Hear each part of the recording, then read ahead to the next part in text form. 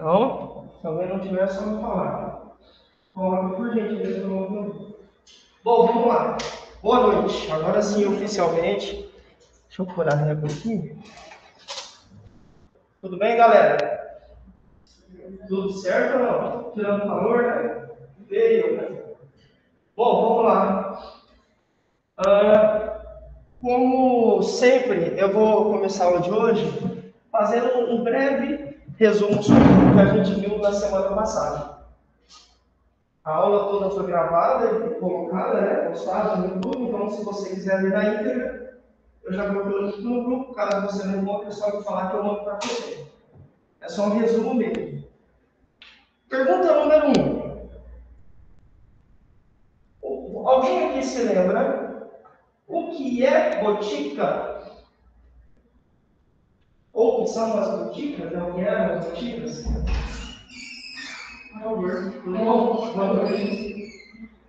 Alguém se lembra?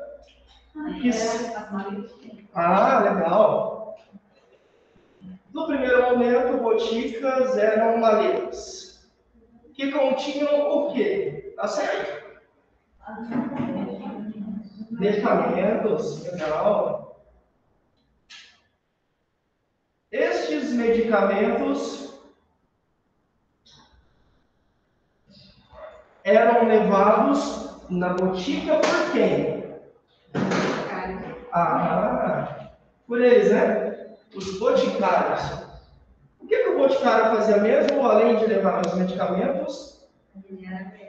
Também diagnosticava. Perfeito. Ou era cumprir o papel, né, duas funções. Digamos assim, era o médico, entre aspas, e o, entre aspas, farmacêutico. Legal. Por quê? Alguém se lembra? Porque mesmo que houve a necessidade e esses boticários foram obrigados a ou se tornarem somente médicos ou se tornarem somente farmacêuticos. Alguém se lembra por quê? Para não, não acontecer autopromoção, né? Legal, autopromoção. Ou seja, porque senão eu poderia dar o meu valor, o meu preço, e assim me tornar muito rico e concentrar todos os medicamentos em mim. Somente uma parte da população teria acesso.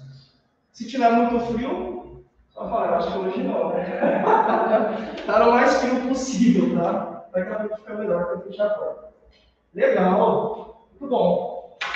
Os medicamentos foram criados ou foram acontecendo, digamos assim? Quem se lembra? Alguém quis criar ou foi um resultado de alguma coisa?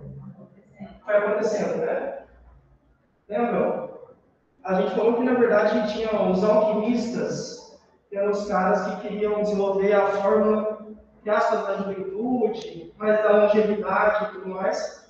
E aí o que eles Porém, comprando são os resultados dos medicamentos que a gente tem hoje, lógico, super modificando e tudo mais. Tá bom. Quais são as finalidades dos medicamentos? Alguém lembra? Vou dar uma dica, ó, só para vocês se acordarem. Um, curativa. O que, é que essa finalidade depende mesmo? E os medicamentos curam. Exato. Os medicamentos curam. Por exemplo, se eu estou gripado, tomo um antigripal, vou ficar bom? Sim. Essa é a, uma das finalidades dos medicamentos. Nós vamos, por meio deles, curar alguém. Ou outra. Paliativa. Paliativa. O que, que a paliativa fala mesmo? Isso. Estou no estágio terminal nada mais pode me curar. Né? A minha doença é incurável, mas eu ainda sinto dor. Minha qualidade de vida, meu bem-estar foi prejudicado, e aí eu tomo um medicamento para aliviar o meu sofrimento. Perfeito. Qual outra? Aham. Essa é mais difícil, né? Quem lembra o que é? Quer dizer, não mais difícil o nome, né? Isso tomo vitamina C. Todo dia, Lucas, eu tomo uma pastilha de vitamina C. Você está gripada? Não. Então por que você toma? Porque estou dando condições para o meu corpo se proteger do vírus da gripe, sei lá. Então você está se prevenindo.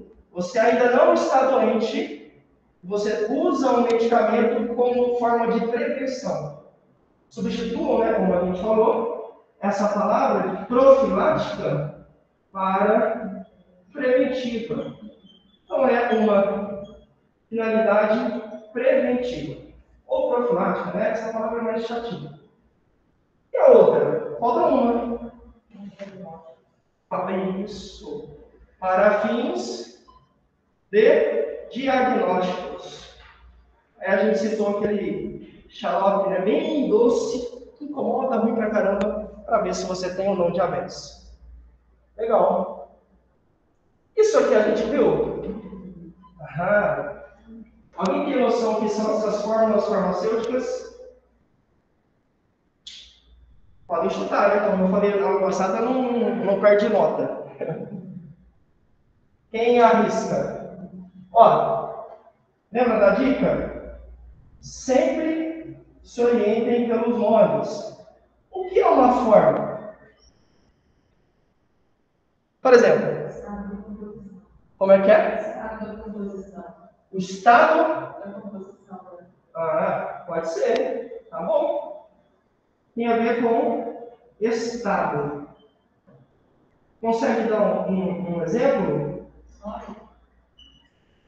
Legal. A gente tem medicamentos sólidos? Tem, né? Qual que é o mais famoso? Comprimido. Comprimido é líquido? Não. É gasoso? Não, ele é sólido. Então, de fato, eu posso ter sólidos.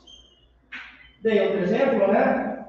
Falei gasoso, mas a gente chama aerosóis, líquidos e por aí vai. Só uma pergunta, a gente já vê isso com mais detalhes uma aula específica de formas farmacêuticas.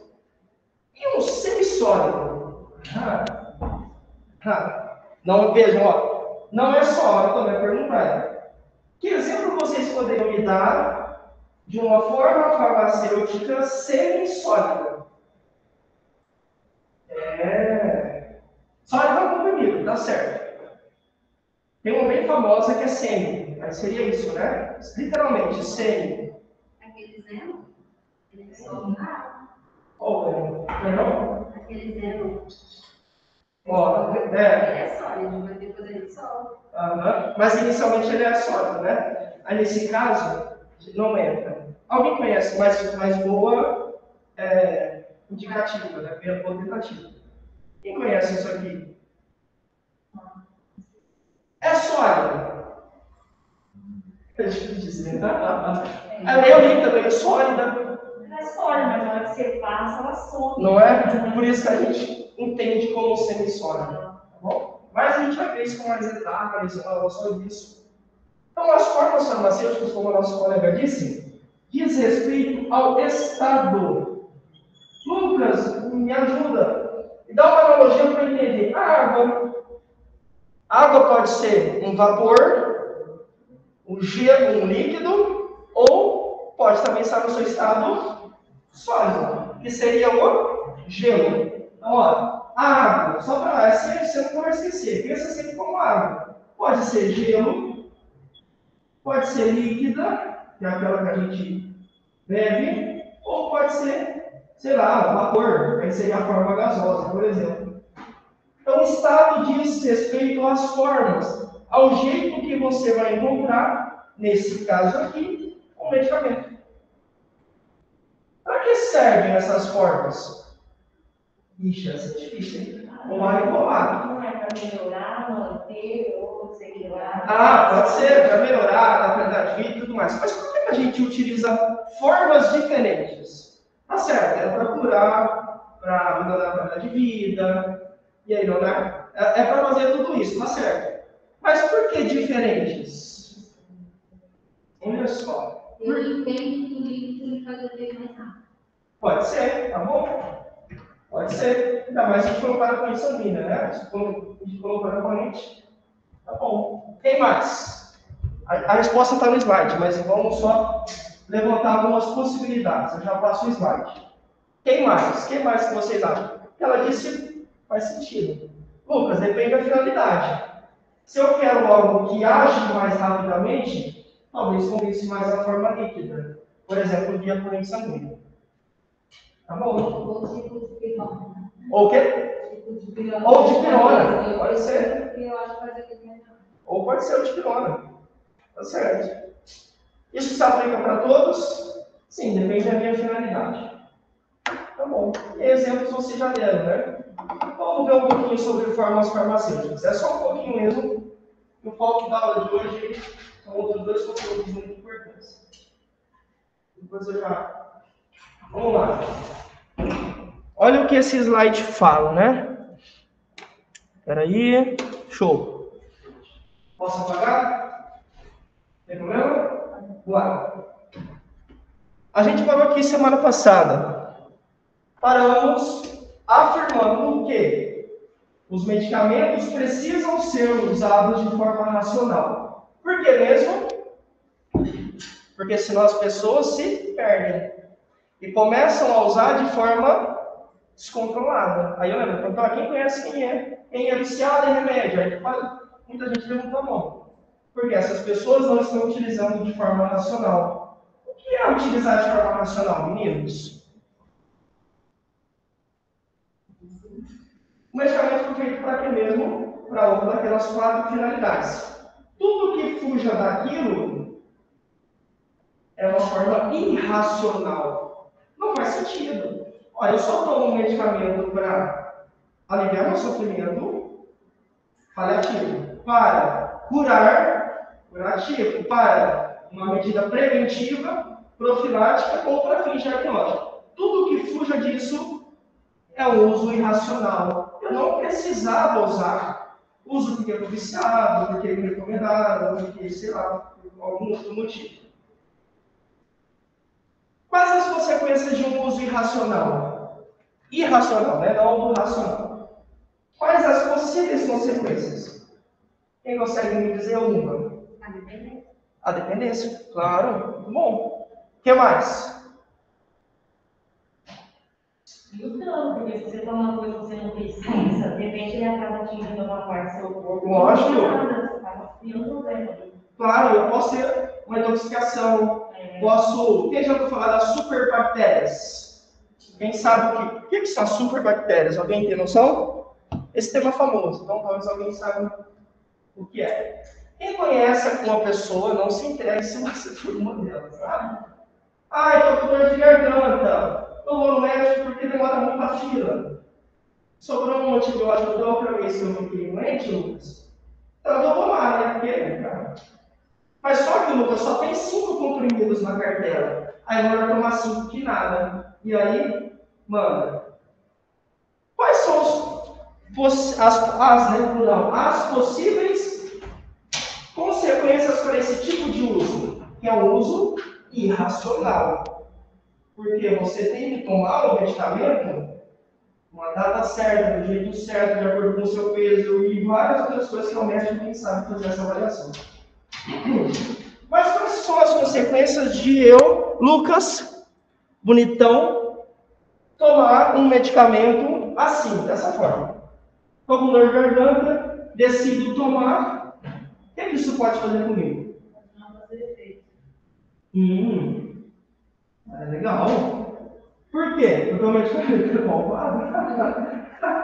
tá certo. Uma justificativa é não fazer efeito. Mas por que não faz? Não era para fazer? Era. Aham, pode ser. A dose pode ser pequena, tá bom. Baixa. Tá certo. E tem esse- essas aqui, ó. As superbactérias. Bom, vou fazer um desenho aqui. Usem os olhos artísticos de vocês. Vai ser horrível, mas, ó. Cada bolinha azul é uma bactéria. Sei lá, tá com dor de garganta, é uma bactérias entraram no seu organismo, porque você não dorme direito, não come direito, não pratica atividade física, seu corpo fica todo arrebentado. E aí, as bactérias, como oportunistas, elas pegam a oportunidade para invadir o seu corpo. Eis que você dorme quatro horas por noite, há três anos, em algum momento seu corpo vai ficar sujeito a uma invasão. E aí, essas bactérias começam a se multiplicar. O que, que o medicamento faz? Correndo. Entra aí, imagina, entra aí, O medicamento vem aqui e faz isso, ó. Tchau. E começa a matar as bactérias. Faz sentido? Então, é que você toma um medicamento e a sua dor de garganta vai embora. Só que eu, Lucas, não fui no médico. Eu tomei o que tinha na cartela, que é um terço da quantidade de medicamentos, e aí só deu para matar isso aqui de bactérias. Vejam que restaram algumas. O que, que essas bactérias vão fazer? Se multiplicar. Se multiplicam da mesma forma? Não. Mais forte. Isso super. O super-homem lá, o Quartão, a Maravilha, a mesma coisa. Super. Esse super vem no sentido de resistente. Você deu para elas uma amostra e ela se aperfeiçoa. Opa, o Haroldo pode tomar de novo isso aqui. Que, é que eu vou fazer? Agora eu sou uma bactéria, só que vejam, uma cor, essa cor diferente é para ficar com um outro tipo, né? Ela vai se mudando geneticamente falando. E agora, você vai no médico, pega o medicamento, que era o mesmo que o aluno tinha tomado, e esse medicamento não vai mais fazer efeito. Um exemplo bem, bem direto, mas essas pessoas têm esse costume. De repente, por não fazer efeito, esse cara vai para o hospital. Esse cara, essa mulher, essa moça. Quando vai para o hospital, utilizam ali alguns outros antibióticos mais fortes que eles têm, né? O hospital tem, a equipe médica tem, então. Só que nem sempre dá certo, porque as bactérias do Lucas se aperfeiçoaram de uma forma tão impressionante que nenhum medicamento consegue barrá-las, eliminá-las, matá-las, contê-las. O Lucas vai deixar essas bactérias no hospital. Quando um outro paciente estiver suscetível, pega a famosa infecção hospitalar, ou sepse, né? Essa infecção hospitalar é facinha de conter? Não. Pode ver que já deve Muitas pessoas que morreram de infecção hospitalar. Muito comum pessoas que fazem cirurgia, ou idosos, pessoas que têm um sistema imunológico mais frágil. Não adianta, a gente dá antibiótico, mas elas são resistentes. O que a gente tem para matá-las? Antibióticos, só que não funciona muitas vezes. E aí você tem cada vez mais bactérias que resistem, que são fortes e que não são barradas por medicamento nenhum. Consequência, morte. Só do indivíduo que fazia isso, Lucas? Não. Das outras pessoas também que vão se infectar, porque essa bactéria vai ficar no hospital. Mesmo que a gente tenha todos os processos de limpeza no hospital, nananã, ainda assim ela sempre fica. Tanto é que a gente ouve falar sobre infecção hospitalar por causa disso. Então vejam, tudo começou com uma dor de garganta que eu, por conta própria, de forma irracional, decidi tomar um, um bendito, um, ou um maldito nesse caso, medicamento. Não tomei como deveria, acabei comprometendo a minha vida e a vida de outras pessoas também. Tá bom? Posso fazer uma pergunta? Claro, claro. É, e no caso, por exemplo, uma dor de garganta, você falou infecção de garganta, Ah. geralmente eles sempre passam sempre a oxigina. O fato de você estar receitando sempre a mesma medicação, essa bactéria não pode se tornar resistente por isso? Pode, boa pergunta. Podem ou não? Boa pergunta. A resposta está aqui. Mas sim, vou, vou responder. Quem, o que vocês acham? Todo mundo ouviu o que ela perguntou? Se fizer um certinho. Isso. Porque qual que é a grande diferença? O médico vai calcular o timing, o tempo certo. Eu, Lucas, tomei por quatro dias, mas na verdade eu precisava tomar por 14. Deixei de tomar por 10 dias. E esses outros 10 dias a mais seriam suficientes para matar todo mundo. E aí elas não teriam mais ninguém ali para se aperfeiçoar. Por isso que, se você, o médico, e isso é muito comum, vamos ser sinceros. Ah, estou com febre, dor de cabeça, dor no corpo, coriza, vômito, não. Então, no quarto dia de tratamento, Lucas, não estou mais sentindo febre, não sinto mais dor no corpo, não estou indisposta. Ah, pelo contrário, estou com energia. Ah, você acha que eu vou ficar tomando medicamento por mais 10 dias? Vou nada. Vou deixar isso de lado, porque eu já estou boa.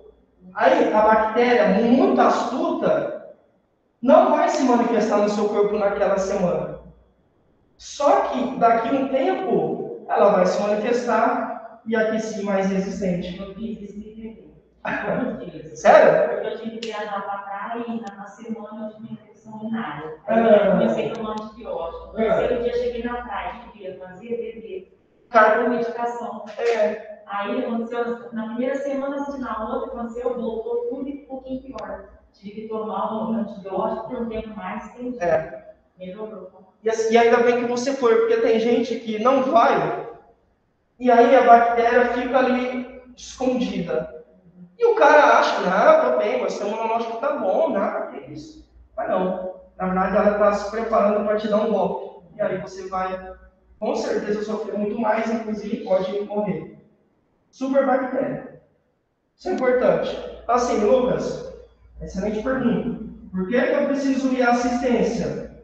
Porque o médico vai receitar medicamento de acordo com o seu peso, de acordo com a sua situação, de acordo, por exemplo, com o tipo de infecção, isso é diferente.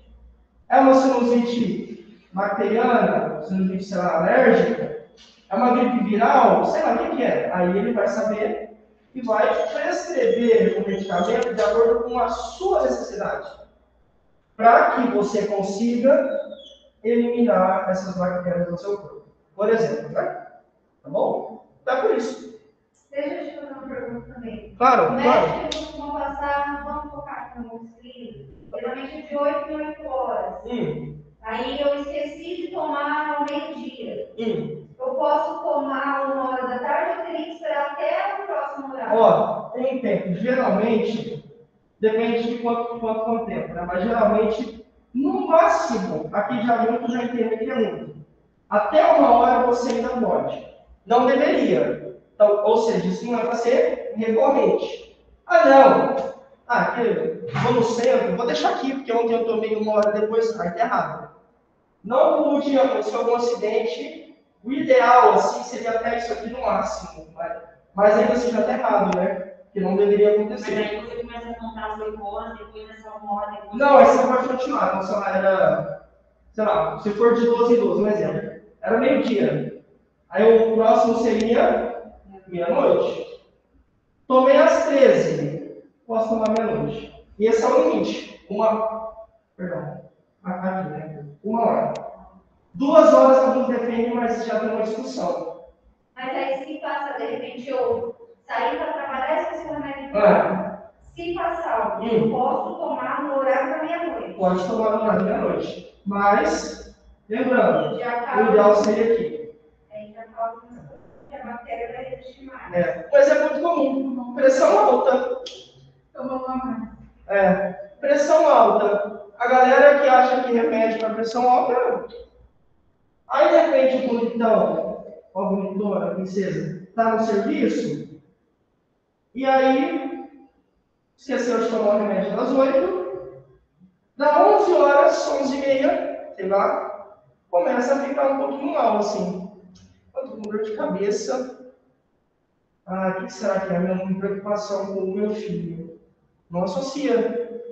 É preocupação com meu filho, é o marido que deixou o cachorro no tapete, sei lá, qualquer outra coisa. Não associa com a pressão alta. E aí, a pressão vai aumentar, obviamente. Só que a pressão alta, por exemplo, ela é assintomática. Dificilmente você vai sentir alguma coisa. É bem difícil. Só quando está na casa dos 20 que você vai sentir dor na nuca, uma dor de cabeça, às vezes um incômodo no peito. A pressão alta é astuta, né? ela é assintomática. E aí você vai ter, pode ter nesse pico aqui, por não tomar o medicamento, você pode ter um AVC, sei lá. Porque a pressão vai ser tão alta que vai estourar uma artéria do seu cérebro. Tão forte que foi esse pico. Por que, que a gente toma o medicamento na hora certa, gente? Para manter uma linha. Se eu tomo medicamento no tempo certo, ó, tem que tomar às 10, aí, sei lá, ensina ali, tem que tomar às 14, sei lá. Eu consigo ir mantendo a linha terapêutica. Se eu falho aqui, olha o que acontece. Cai. Eu deixo de fornecer condições para o meu organismo de enfrentar a bactéria, o vírus, ou sei lá, qualquer outra coisa, um fungo, alguma coisa que esteja no meu corpo. Não posso fazer isso. Por isso que eu preciso sempre tomar a hora certa para manter essa linha. Quando eu consigo manter essa linha simétrica, é possível oferecer eu isso que eu faço, ofereço condições para o meu corpo enfrentar o invasor, a bactéria, vírus do fungo. Tá bom? Essa questão de definição de 8 8 horas, ou de construir 12 em 12 horas, tem também de acordo com essa questão que você falou, de acordo com a necessidade, Tem. tudo? Tem, inclusive com a dose, né? Por exemplo, tem medicamentos que tem uma dose. Você falou da composição, né? Tem medicamentos que têm a composição mais forte, então a dose é muito alta para você tomar um lá, de, de duas em duas, de quatro em quatro. Não posso, senão vou causar uma sobredosagem. Uma dose muito alta, em vez de fazer bem, faz mal. Nunca se. Boa pergunta. Tem uma frase que fala assim, ó. A diferença entre. Quem conhece? Talvez até consiga completar. A diferença entre o veneno e o remédio está onde?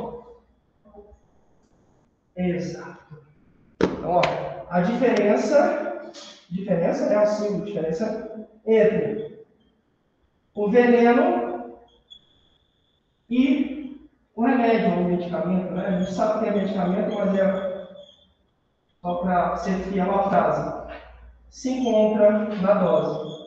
Se a dose for muito alta, pode se tornar um veneno.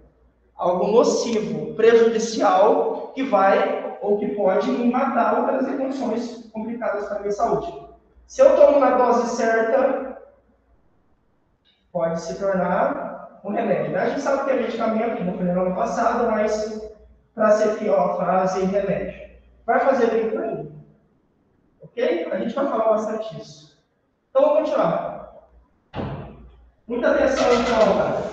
A gente tem que usar sempre né, de forma racional, acima de tudo.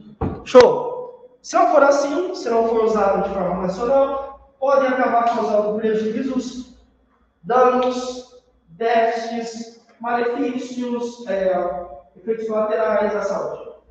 Contudo, se bem administrados, ou seja, de forma racional, de acordo com o que o médico receitou, prescreveu e tal, podem fazer bem e tem grande valor à saúde e à conservação ou à manutenção da vida. Ok? Adiante. Aí a definição. Isso é a forma farmacêutica. Aqui embaixo você tem exemplo, né? É a forma ou a apresentação final em que se apresenta o medicamento ao paciente. Depois de uma série de operações farmacêuticas realizadas com o princípio ativo. Ponto. O que é princípio ativo? Quem já ouviu falar essa expressão? Acho que muita gente já deve ter ouvido, né? Vocês já ouviram, né? Alguém sabe o que é? Assim, de uma forma simples, não precisa. O que é princípio ativo? Opa. O que é, gente? Ele é importante para o medicamento? Ou para o tratamento, né? Sei lá. É, né? É a substância que me permite ter sucesso terapêutico. Tá bom? Então é isso. Então, é toda e qualquer substância que está presente no medicamento e que vai trazer ou permitir que eu alcance o sucesso. Quero um sucesso no sentido paliativo. Vou usar a morfina, o princípio ativo da morfina, que vai fazer com que eu alcance sucesso. O que é o sucesso no caso paliativo? Aliviar sofrimento. Estou com gripe. Vou tomar um medicamento que tem um princípio ativo que vai alcançar o sucesso terapêutico. Aquilo que eu procuro. Quero ficar curado, Lucas. Então, esse sucesso, que é a cura, só acontece por causa desse cara. Então, é a atividade que permite ao paciente ter acesso ao sucesso terapêutico ou aos benefícios é, farmacológicos. Tá certo. Mas, percebam que no medicamento, nos medicamentos, existem outras substâncias além do princípio ativo. A gente já viu o nome delas, mas são os recipientes. A gente vai falar sobre isso. E aí, essas formas, então, compostas de princípio ativo, que é o carro-chefe, e de outras substâncias, me permitem atingir esse sucesso de acordo com a via. A gente falou de via de administração semana passada? Não? Quem consegue me dizer um? Vou dar um exemplo. Ah, esse aí é fácil. Se é oral, se Ah. é injeção, sei lá. Isso! Muito bom. Você falou uma. Quer dizer, na verdade você falou algumas. Hã? Vamos lá, ó. Ela falou oral. Aí esse. Eu vou abrir um parênteses aqui, tá? Eu já vou olhar. Mas sim, tem a- as vias injetáveis. Tá certo. O que mais? Pode ser?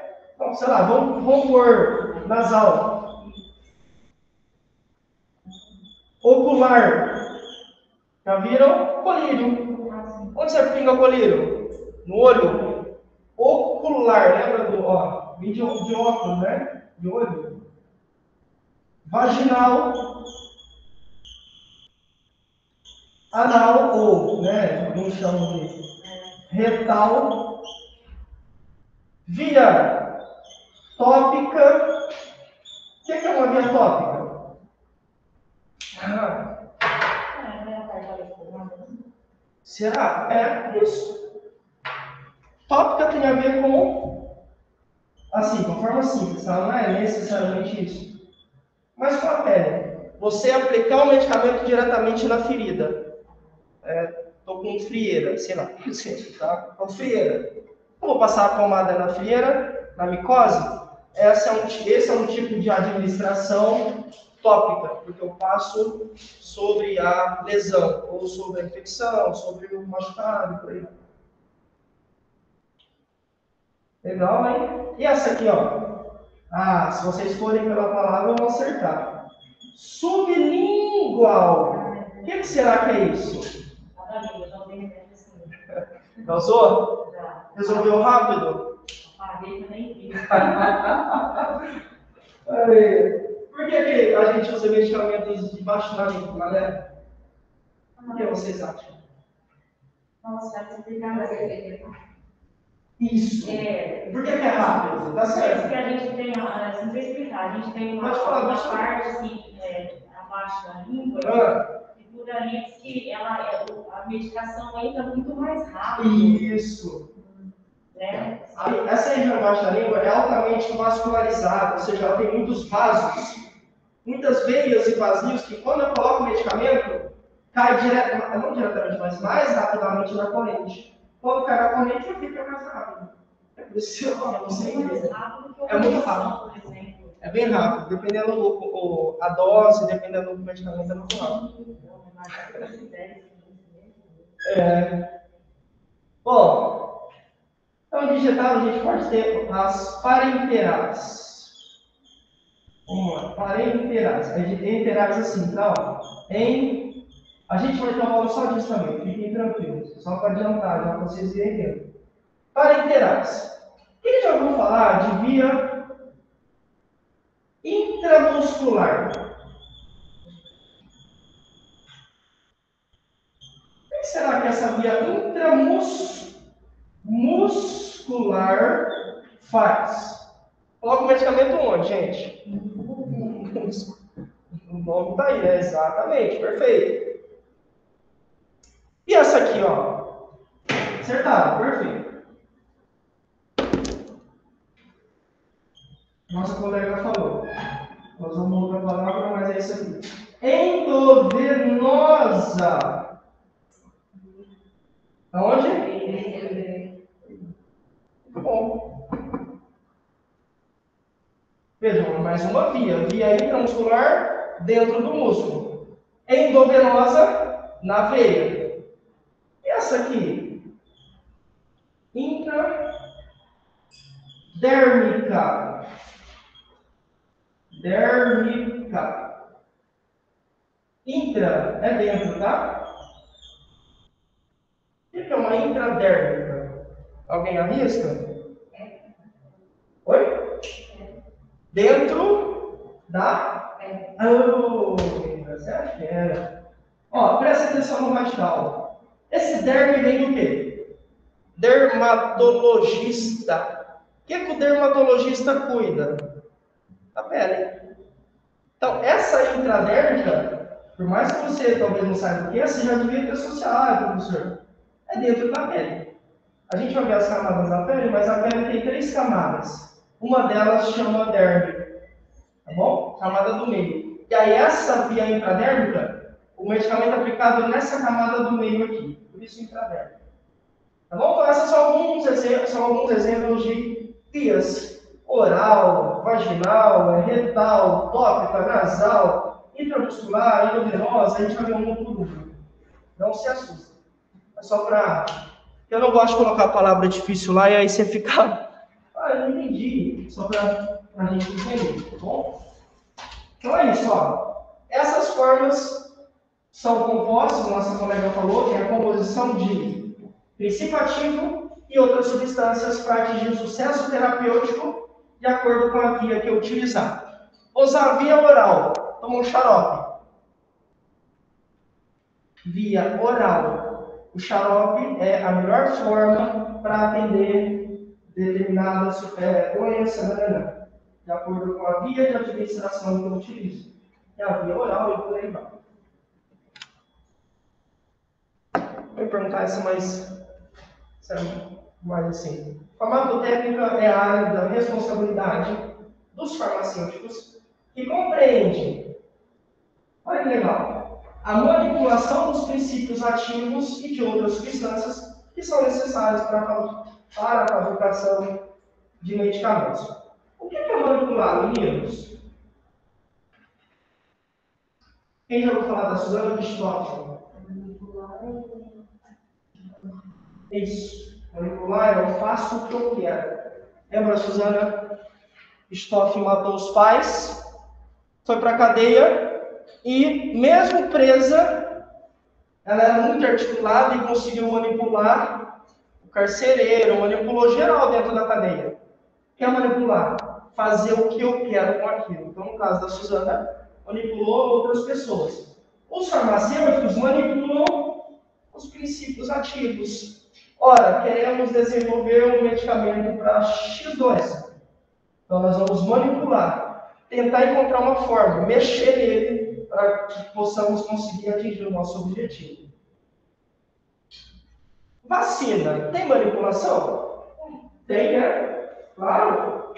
O, o, os princípios ativos não vêm prontos, senão a vacina já estaria pronta, né? A gente não teria perdido tantas vidas na pandemia, como vocês sabem que a gente perdeu.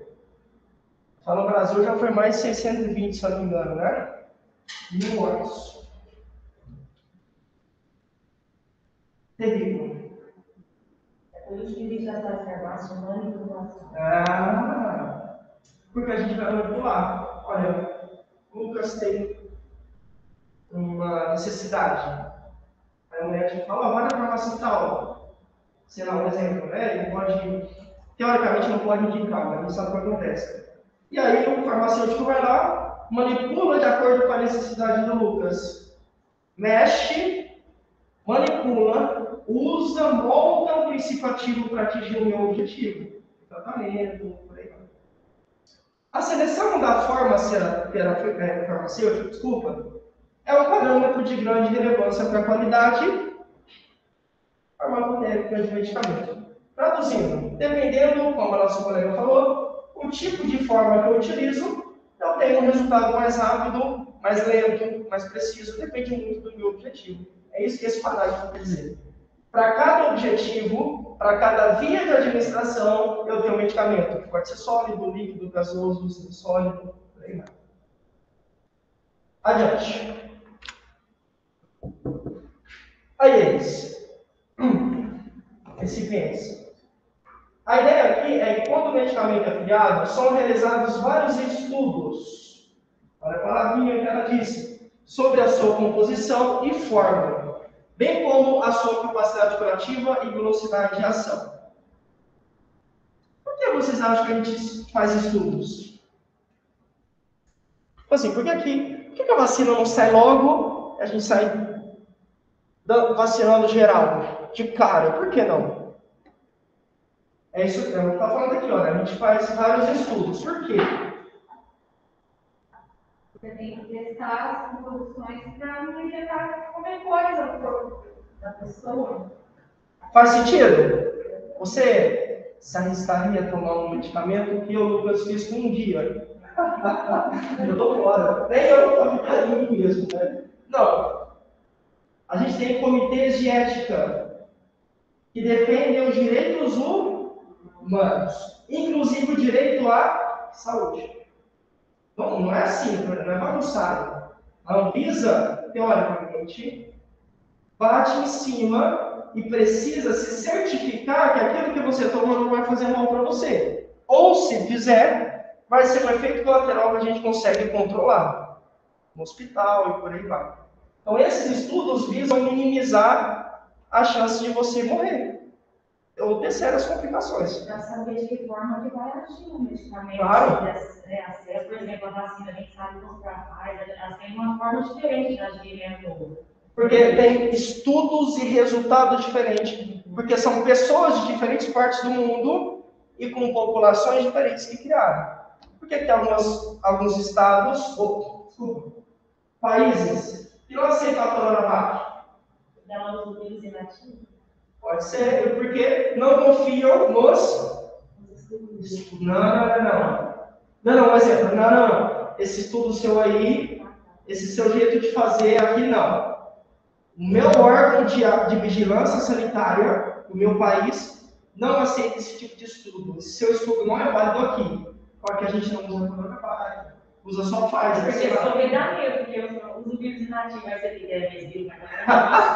que é, muitos. Tem muita discussão, mas é, é isso mesmo. Tá bom? Show de bola. Pergunta, olha só. Vamos ver se alguém sabe responder. Esse sim a gente tem só para isso. O que são medicamentos? Vou pegar só dois. Os dois principais. Referência e genérico. E o que, que eles têm a ver com isso? O que é um medicamento genérico? O que é o medicamento de referência? Referência seria primeira linha e genérico segunda. Ah. Tá, isso, mas em outras palavras, o que, que seria? Como assim? De primeira linha seria mais especificado, mais especificado diretamente no problema, no caso. Segundo ah. já seria no Brasil. Legal, é nessa linha. Tá por aí, por aí. Gostei. Quem mais? Muito bom. Você pegou o filme. Quem mais? Pode falar, eu falei, isso não vale, você não vai perder nada. Per Hã? É, só um diferencial. Qual é mais barato? Genérico, né? Eu não, eu sou um genérico. genérico. Tá bom. Mas além da questão do preço, as, a principal diferença deles é isso que a nossa colega falou: estudos. O medicamento de referência. Vamos lá, essas, esse é só um resuminho, tá? Não é a aula, vou falar com mais detalhes, tal, mas só se alguém te perguntar, eu sempre tem um parente que faz umas perguntas aleatórias, né? Ah, a menina tá fazendo farmácia. Olha, o que é genérico? Aí você, você vai, pelo menos alguma coisa, você já vai saber falar. Genérico.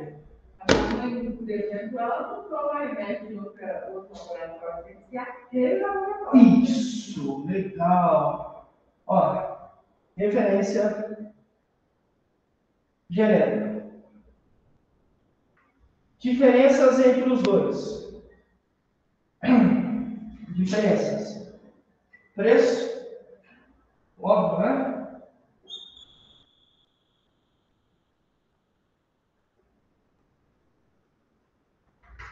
Eu vou explicar o que é isso aqui.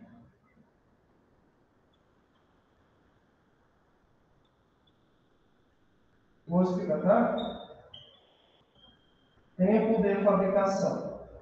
Principalmente, opa, principalmente esses quatro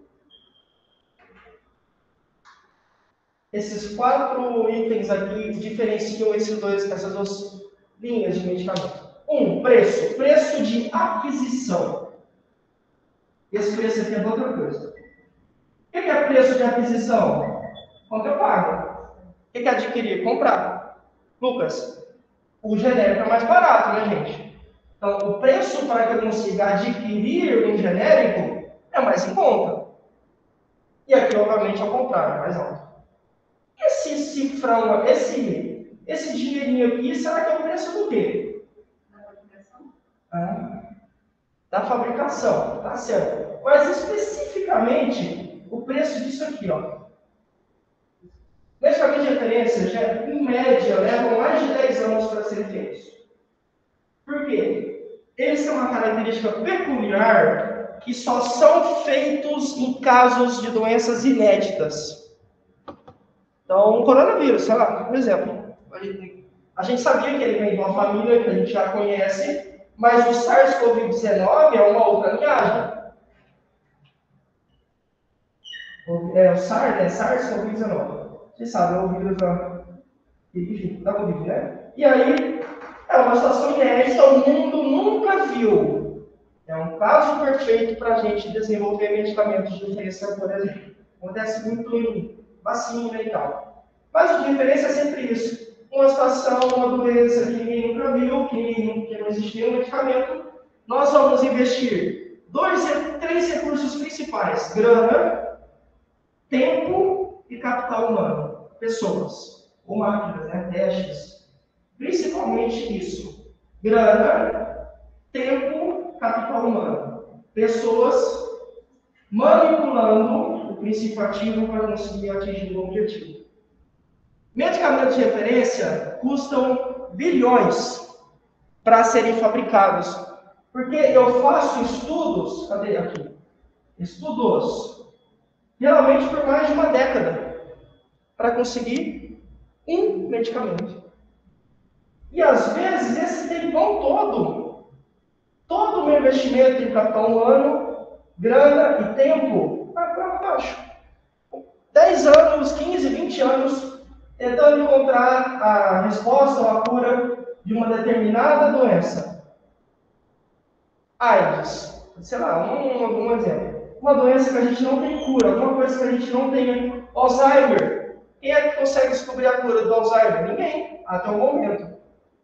Quanto tempo faz que tem pesquisadores pesquisando a cura do Alzheimer? Décadas. E durante todo esse tempo investiram, ou entre aspas, perderam grana, tempo e capital humano. Então, medicamentos de referência são aqueles que têm um custo maior de estudos e um custo maior para fabricar, porque a gente só pode fabricar quando acha a fórmula. Se eu não acho a fórmula, não tem como fabricar. Então, eu com certeza tenho um custo muito maior para cá e custo muito maior para fazer estudos, porque são testes né, que a gente faz. Tá bom. Estudos, uma outra diferença, um outro elemento que faz diferença.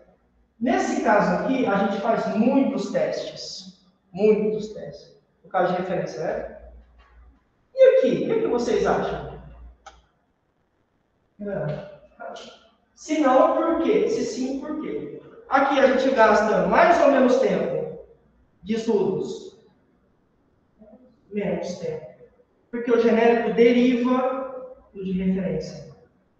Então, se eu investir tanto tempo, tanta grana e tanto capital humano para fazer, no genérico, se eu uso bem a boca, mas eu não preciso ficar fazendo testes, porque eu já sei o caminho das pedras. Eu já sei por onde caminhar, porque por 20 anos fizeram medicamento de referência, então já sei para onde caminhar. recurso humano, recurso financeiro e, estudos, né, digamos assim, para fazer.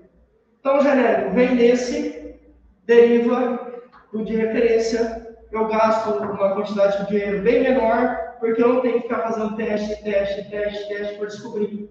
Já está descoberto. Eu simplesmente vou fazer novos testes porque eu vou deixar mais barato. Por que custa mais barato? Por isso. Esse aqui custa muito caro porque a gente investiu por 10 anos, né? Você acha que uma coisa que eu investi por 10 anos vai custar barato? Não vai. Mas uma coisa que eu fiz em um ano, um genérico, por exemplo, é muito mais acessível. Então não vai custar tanto, inclusive, para a gente adquirir. E o tempo de fabricação, obviamente, o genérico é um tempo muito mais rápido, né? Porque eu não tenho que ficar fazendo teste. Opa, desculpa. Não tenho que ficar fazendo teste. agora, eu uma curiosidade. Ah. Porque eu já tive convênio excelente de médico, já ah. fiz e é comum você ver no consultório médico, ah. representantes do laboratório, por exemplo, de remédios e tal, e quando você vai no SUS, aqueles remedinhos, por no SUS é sempre uma loratadina. Você chega lá no convênio Maléria, e sempre o Gzão grandão lá, né? G. Isso. De G. G, né? Tem diferença? Não, acho que não. Quem acha que não deve ser polêmico? Mas assim, vamos lá, assim, ó, é, como eu falo, ao pé da letra, ou teoricamente, de acordo com essa explicação, deveria ou tem diferença? Sei lá, o que vocês acham?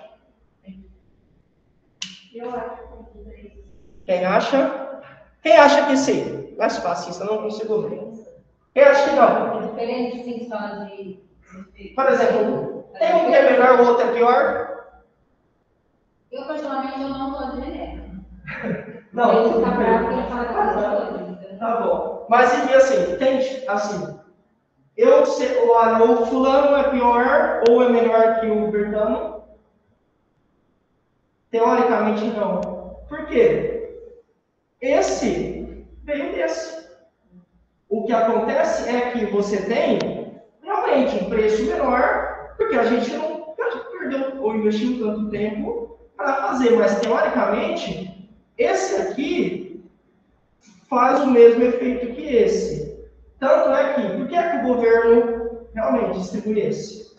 Ou vocês acham que a Anvisa deixaria distribuir o medicamento que vai fazer a nova população? Isso vai contra os princípios da Anvisa.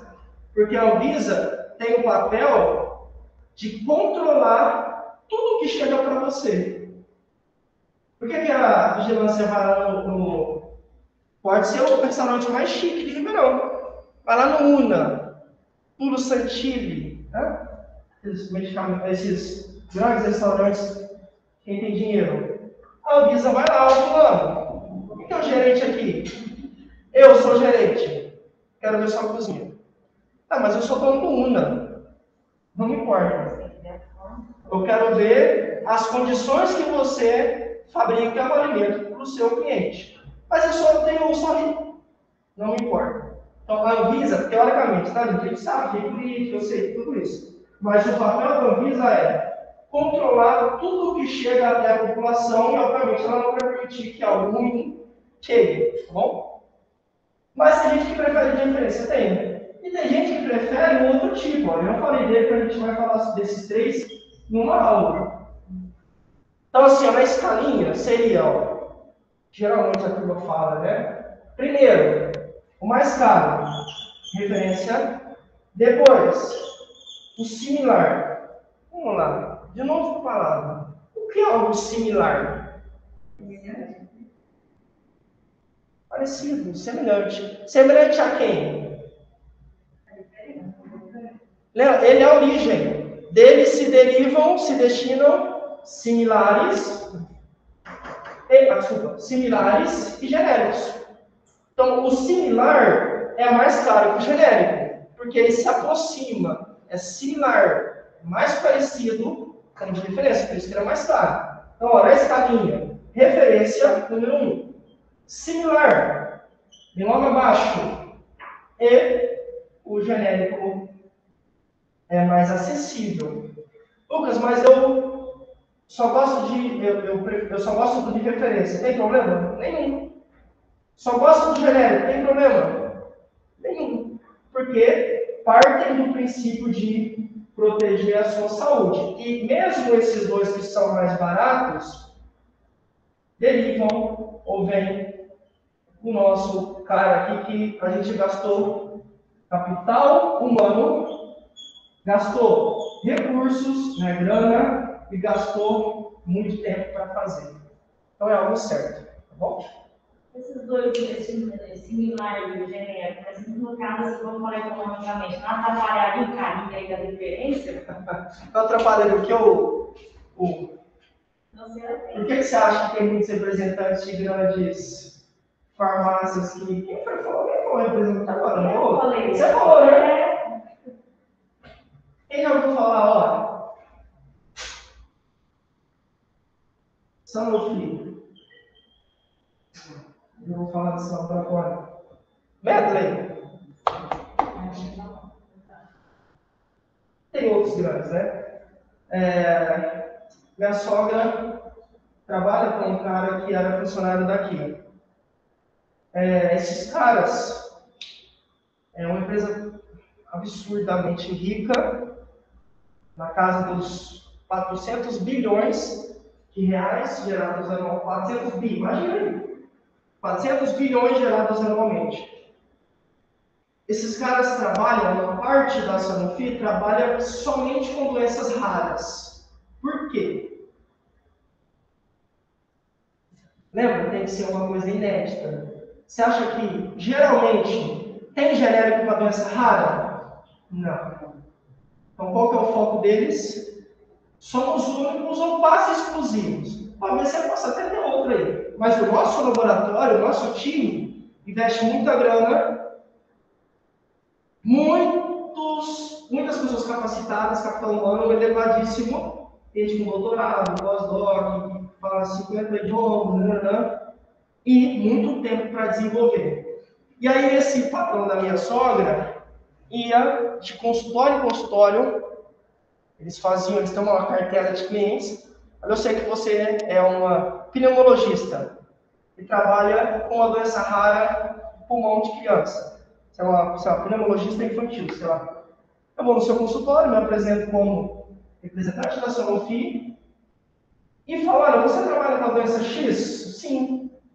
Então, aí eu vou, apresento a minha proposta e como é uma doença que é de difícil acesso, digamos assim, você tem dificuldade de encontrar medicamentos no mercado disponíveis, geralmente você fecha comigo. Ah, o patrão dela tinha carro, tudo da empresa. Ah, o salário altíssimo, tudo muito, porque esses caras investem. Porque a indústria farmacêutica é uma dos setores mais ricos do mundo, né, gente? É novidade. Principalmente agora em época de pandemia e tal. Então, assim, atrapalha o bolso deles? Atrapalha, com certeza. Mas o foco deles não é fazer medicamento que todo mundo conhece. É fazer losartana, não a gente vai trabalhar com doenças raras, porque quanto mais raro é, mais eu sou procurado, né? Por exemplo, por que que é, por que, que a agenda do Karnal está lotada? O palestrante Karnal. Você encontra um Karnal em todo lugar? Aqui, aqui em Ribeirão tem algum Karnal? Um cara com a capacidade intelectual dele? Não. Dificilmente. Tem alguém com João Portela? Não. Cláudio Barro que é o quarteto né? não tem. Na área deles, o lugar que você vai escrever é o Leandro Pardal. Ah, carequinha lá, o cara, carequinha da Unicamp, professor de história, é esse cara. Quanto mais raro você é, mais aumenta a procura. E você pode dar o preço que você quiser. Lembrando, é, na época eu era presidente, cobrava uma nota para dar uma palestra. Podia dar, podia cobrar. Porque o que ele falava, quase ninguém falava que o cara cobrava. É basicamente isso, também medicamentos. Por que o Neymar ganha 500 milhões de reais por ano? Por causa de que a gente não tem um Neymar em toda a seleção. Tem a discussão, né? Se ele é bom ou não, não sei o quê. Mas o cara conseguiu fazer um marketing de um jeito que ele é o camisa 10 do PSG ganhou muita grana. Então a ideia é essa. Quanto mais raro eu sou, mais eu posso ficar rico, porque eu coloco o meu preço. Se você quiser ser curada, ou se eu, médico, quero também me tornar referência por tratar determinada doença, eu tenho que comprar de você. E aí a gente fecha uma parceria. É bom para você, farmacêutica, a indústria farmacêutica é bom para mim também, que sou um especialista. Tá bom? Então, ó, referência é mais caro por causa disso. Mas eles originam similares, similares são mais próximos de referência, portanto, mais caros, né, não, né, saem esses quatro elementos, e também se derivam, ou é deles que, né, originam os genéricos, tá bom? Segundo. Nossa, então é participativo do trem rende. Vamos lá. Então, são realizados vários estudos, a gente já viu três linhas diferentes de medicamentos, sobre a composição, forma, evolução capacidade curativa e velocidade de ação. A nossa colega deu um exemplo, colocou o medicamento debaixo da língua, nem lembro o que aconteceu. Velocidade de ação do, do mecanismo do medicamento no meu corpo. Por conta disso, alguns medicamentos são formulados para serem utilizados oral, boca. Outros são injetados intramuscular, a gente já viu que é dentro do músculo, né? Ou endovenosa, a veia. São medicamentos com velocidade de ação maior porque entram diretamente na corrente sanguínea. A gente vai ver isso mais para frente, né? Como eu já falei para vocês. Depois disso, depois que a gente escolhe a via oral, nasal, retal, vaginal, tópica, né? eu escolho a via por onde o fármaco vai ser colocado no meu corpo, vai entrar em contato com o meu corpo, quais as propriedades que a gente vai querer que ele tenha, qual que é o princípio ativo, quais são as substâncias que fazem parte desse medicamento. Aí sim, a gente vai escolher os recipientes. São os caras que dão forma, que dão volume, digamos assim, aos medicamentos. Aí. A gente vai falar disso, é bem legal. Recipientes. É como se fosse o, no bom português, entendam mal, encher linguiça. O que é encher linguiça numa prova? Quem sabe? Escreve cinco páginas da mesma coisa. Fica mudando as palavras para falar a mesma coisa. Encher linguiça, dá volume. Esses recipientes têm, no bom português, esse objetivo: dar volume, complementar a composição dos medicamentos. Agora a gente vai para uma parte legal. Primeira pergunta, agora é outro tema, né? Isso aqui eu já falei, vou fazer revisão que a gente acabou de ter aula. Meninos, vocês acham que, agora uma outra pegada, menos técnica, qualidade é um diferencial? Qualidade no atendimento, por exemplo. Quem acha? Tá bom. Alguém acha que é uma obrigação Quem acha? Você? Tá bom.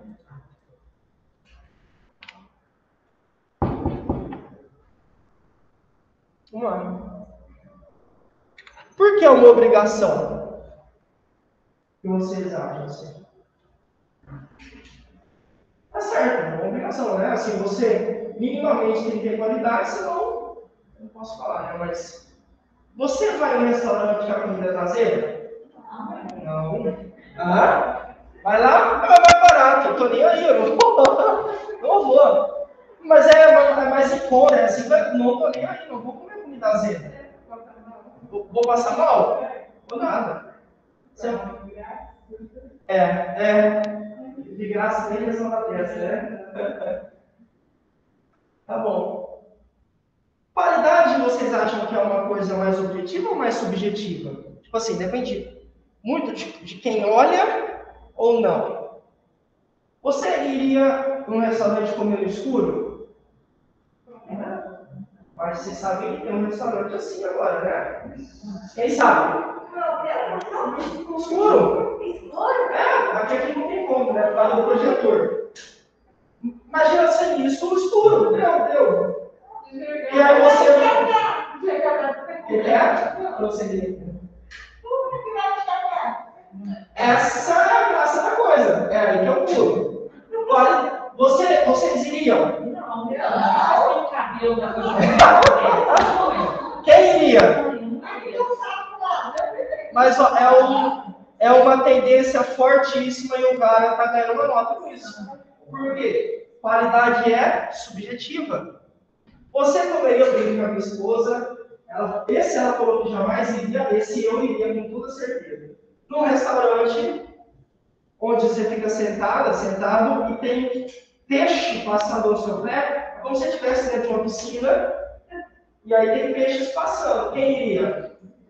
Eu iria. Mas você iria também? Quem iria? Na hora, imagina, se ela comendo, ele passou uma carpa no seu pé. Eu iria. Qualidade é subjetivo. Mas eu só consigo agradar o meu cliente se o meu serviço é tem qualidade. Meu, meu, geralmente o cliente procura um serviço para atender às suas necessidades. Um restaurante que tem luz, todo lugar tem. Um restaurante que tem piso firme, todo lugar tem. Mas um restaurante com peixe, escuro, não. E aí você começa a oferecer serviços diferentes para atrair clientes diferentes. E aí você consegue fidelizar. O que é fidelizar um cliente? Está sempre lá, né? Você compra sempre numa farmácia ou você fica mudando? Ah, você muda? Sério? Diferente. Quem muda sempre? Depende, né? Quem tem uma farmácia que sempre vai? Olha, a gente sempre vai numa. Não vou, você vai sempre numa? Você também? Você, você também? Pode ser, a gente vai ver. Tem uma aula que fala sobre evasão. Porque é que alguns clientes deixam de se tornar nossos clientes. Uma das justificativas é essa. Lucas, cara, eu mudei lá para o Ribeirão Verde. Você acha que eu vou vir aqui na droga raia da Camiru? Vou nada. Então, vou chamar de. Eu venho por cá essa semana, ah. depende de não ter vindo. Isso é se deu mal. Essa semana, minha mulher teve uma crise de asma. Ah. Fui inalador, eu falo. Ah. Aí eu precisava de um inalador. Ah. Fui na farmácia do bairro. Eu fui muito mal, gente. Muito mal. Eu olhei assim, quase eu falei assim, moça, tá o curso da Menina, a gente vai falar Aí eu liguei na droga raia e comprei na droga raia, só não vi porque meu marido tinha droga. É um segredo nosso aqui, tá? Eu não gosto. Do que da onde? Eu não gosto da raia. Ui, aí, menina. Veja, ó, a gente... Mas eu gosto dessa raia que tem aqui. Eu gosto dessa que tem aqui. Qual que você... Não, não, o nosso, o nosso papo, o nosso papo, a gente não pode falar de marca, né? o Lucas estava falando, dizendo propaganda da Loiradade. Não ganhou um inteiro, então não estou fazendo propaganda. Até porque a gente tem alguém que não tem uma experiência boa.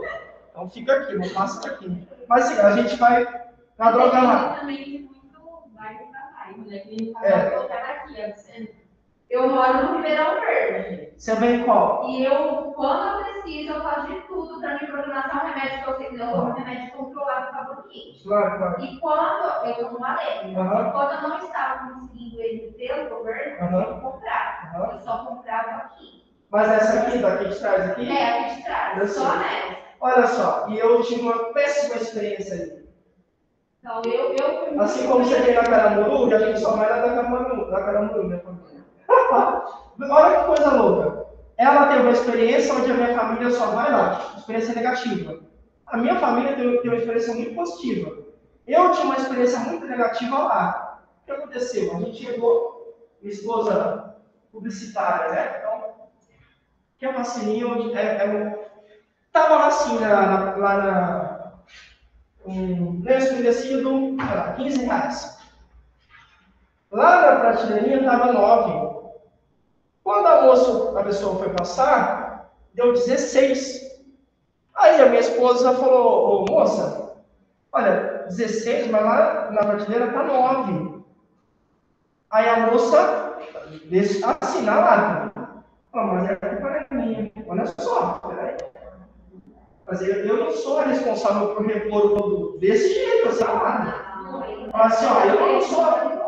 Ah, tipo assim, eu não sou responsável por repor o produto. Aí já chegou o cara, chegou o cara da nossa eu não posso falar isso. Aí a nossa experiência foi, cara, a gente não volta. Outra, lugar que não, não dá muito certo. Lá do Carrefour, lá no Ribeirão Shopping. Aquela farmácia, hum, geralmente não dá certo pra gente. vai porque é perto da minha casa. Ela mudou e Ribeirão Shopping. Mas não, uma experiência muito legal que a gente tem. Mas o problema é o lugar. Não, é do Isso, exato. Porque, vejam, no mesmo lugar você tem experiência positiva e negativa, e o contrário. Então, não é a farmácia, teoricamente, né, gente? Não é a qualidade do produto, mas é capital humano, pessoa. Por isso que a, o sentido de qualidade da aula de hoje, que a gente vai ver, é no atendimento. Se eu atendo você bem, você tem uma outra cara da farmácia. E vejam que a gente sempre associa a nossa experiência ruim, não ao profissional necessariamente, mas sim, geralmente, à farmácia. Menina, não vai na farmácia da Caramuru.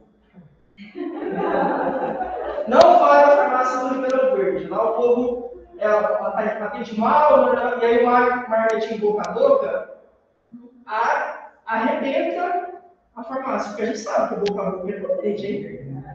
Quem nunca foi comer num restaurante pago? Um aluno de sábado falou no tal de Vila do Torresmo. Nunca fui, disse que é por aqui. Eu quero... Já quem não viu? Você nunca foi? Não. Eu nunca fui, mas eu fiquei com vontade. Ah, então assim, eu não conheço, mas me falaram, uma, coisa boa, tive vontade, é o poder do marketing. Só que pode ser tanto bom quanto ruim. Olha lá na farmácia da Maria Leonardo aí, pensa um pouco cara amarrado. Nossa.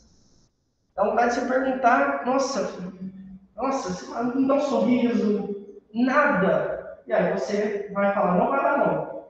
Vai qualquer outra, menos lá. Então, a qualidade é fundamental para você conseguir fidelizar o cliente.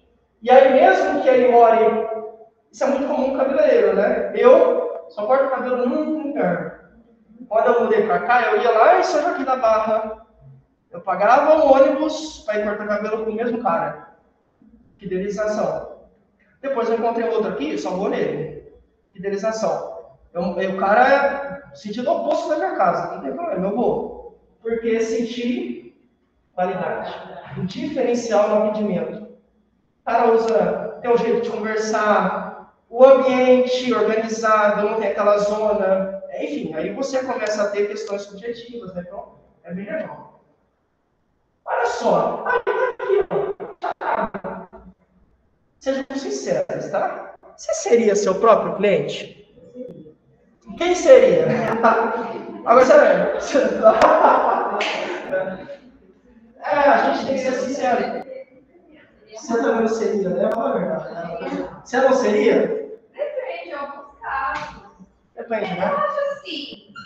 É que ah. tem dia que a gente não tá legal. Isso. Infelizmente acontece muito. A gente sem querer, às vezes, cara, que nem eu falei que a moça não, não me atendeu bem. Talvez ela não estava num bom dia. Brigou com ela? Eu frustrada porque minha filha estava doente, estava com mal, eu não levei para o é. Me virei, corri atrás de outra, mas, assim, além dela perder uma venda, ah. que era um aparelho, não era apenas um remédio. Claro. Ela, ela me deixou chateadíssima. Imagina. Então, assim, é, então, assim, tem, talvez ela não estava no bom dia. Então, assim, eu, eu no mau dia, não sei Vejam que a gente tem essa variação também com eles, tá?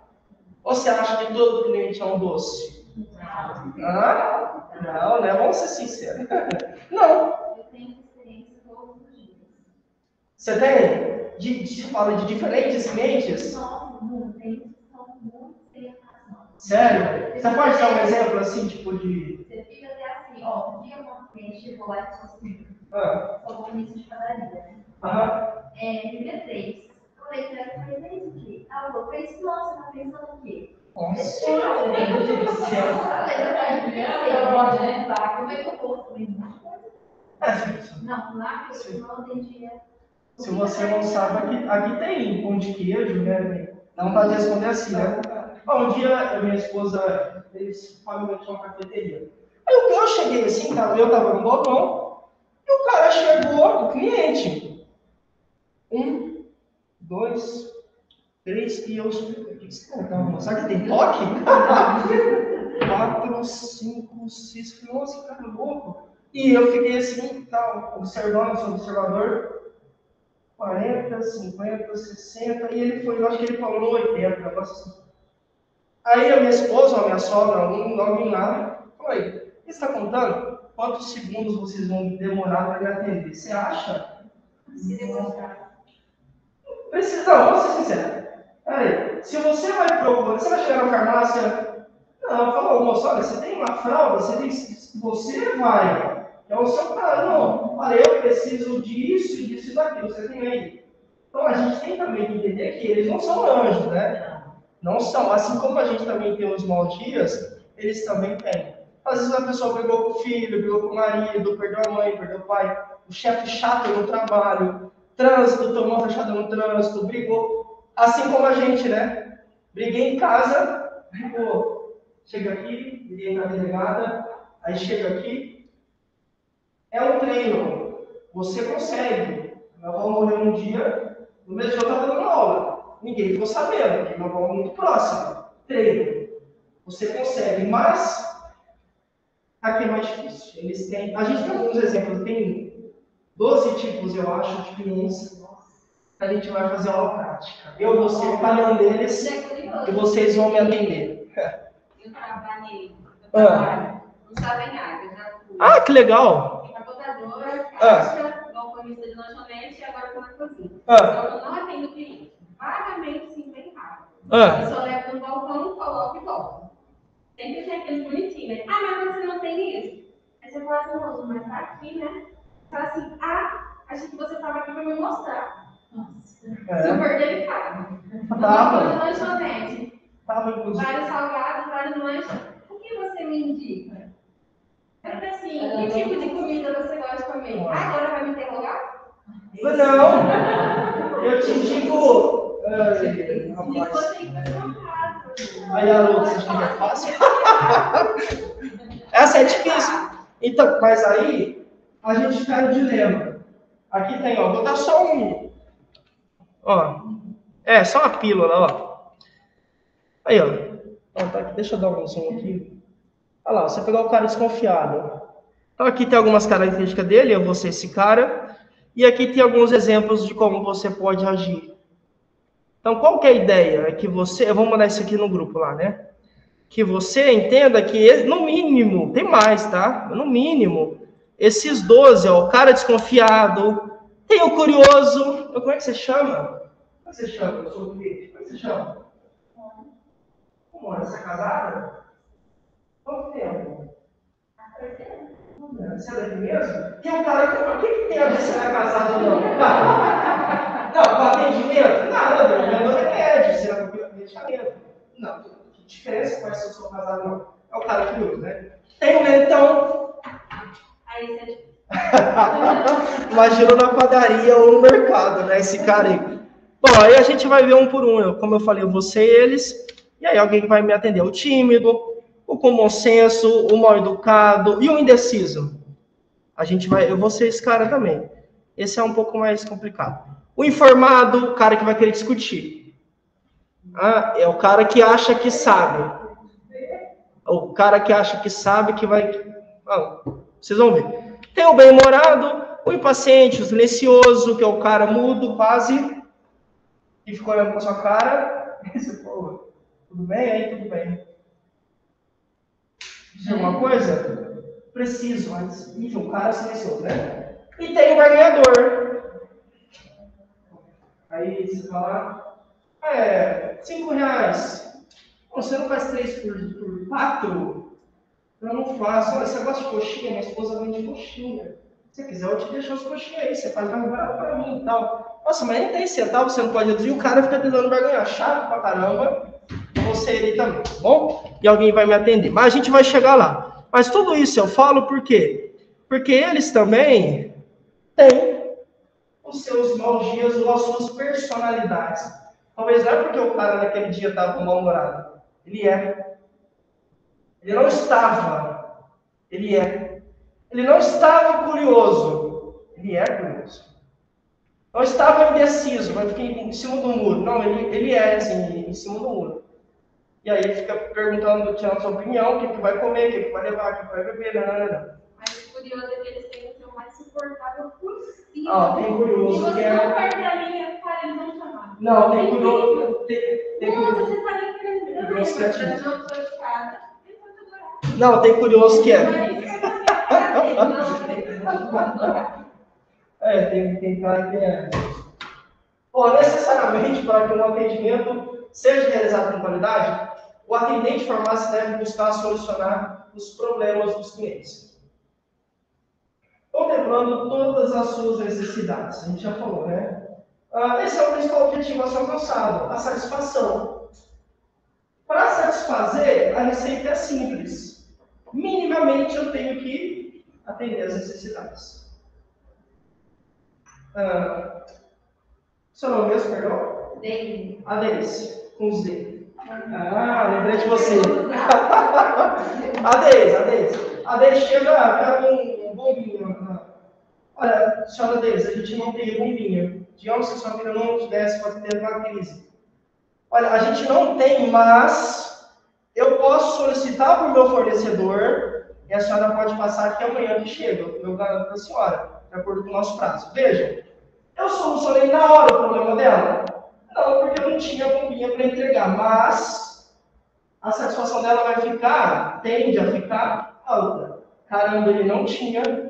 É viu, a Isabel, a chefe dele, autorizou ele fazer o pedido, então amanhã eu posso passar. Então veja, atender às necessidades leva à satisfação do cliente, gera um cliente chato, né? O cara quer fora da curva. Mas geralmente satisfazer é, o cliente entender que você estava preocupada, preocupado com ele e que fez de tudo para poder ajudar, para poder atender.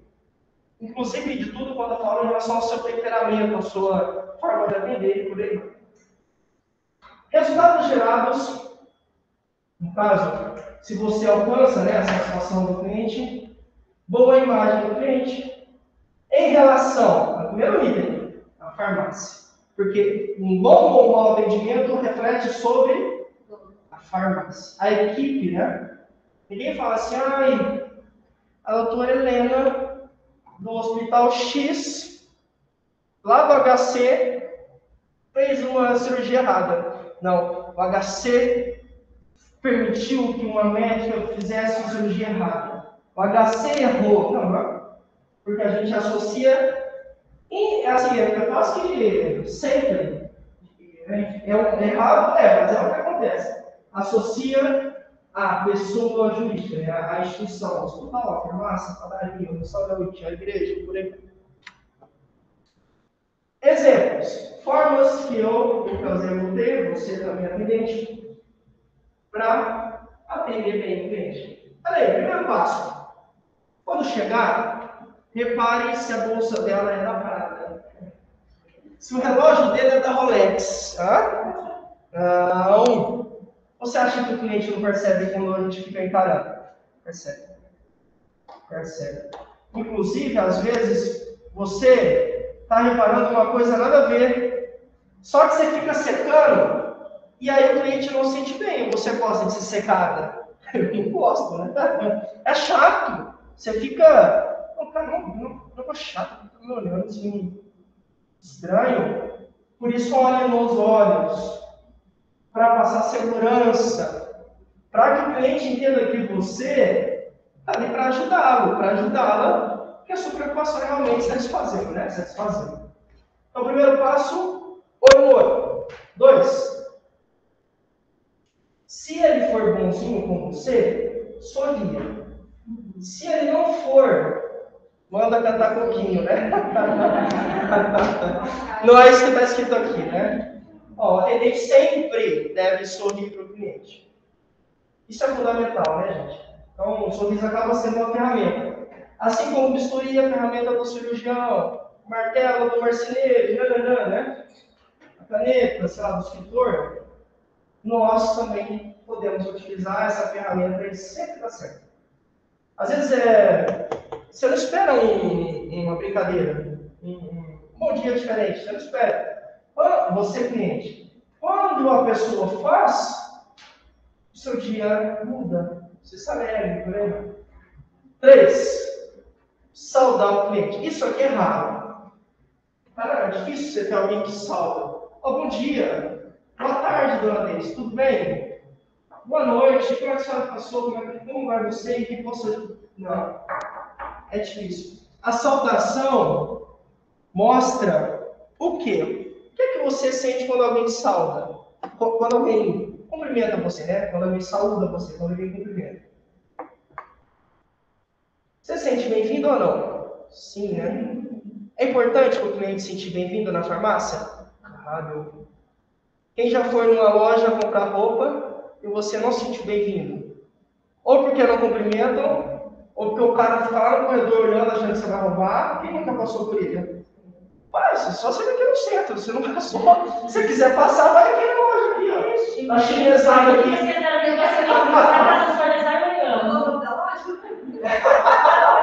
professor, o professor do Sebrae fala mal do Xingu. Brincadeira. É. Não. Eu só vou lá porque meu marido tem que conversar com Porque os caras ficam assim, olhando. Não, os meninos não me atendem. Ou tem esse. Eu outro dia o sapato que eu comprei de fazer com a criança não serviu. Eu não sei o que é melhor, velho. Gente, eu vou pior, a loja atrás dos atendentes, ninguém olhou porque viu que eu já tava com uma sacola de troca. Se eu tivesse na medida, aí eu fui lá no caixa lá, falar com as meninas, ai, que tem uma atendente, você me chama para mim para fazer Achar eu achei um monte, só que ninguém quis me achar, né? Mas assim, aí eu sei que é pior, o cara que fica em cima ou o cara que, que deixa. Ah, nossa, eu vou tomar spam. Depois eu mando no grupo. Bom, tipo de vendedor, depois eu mando. Mas assim, é importante saudar o cliente, com certeza. O atendente deve iniciar o atendimento, olha só, após a saudação, bom dia, boa tarde, tudo bem, como é que você está? Eu posso ajudar? Seu nome, meu nome. Vem antes. O atendimento propriamente dito começa aqui, ó, após a saudação, tá bom?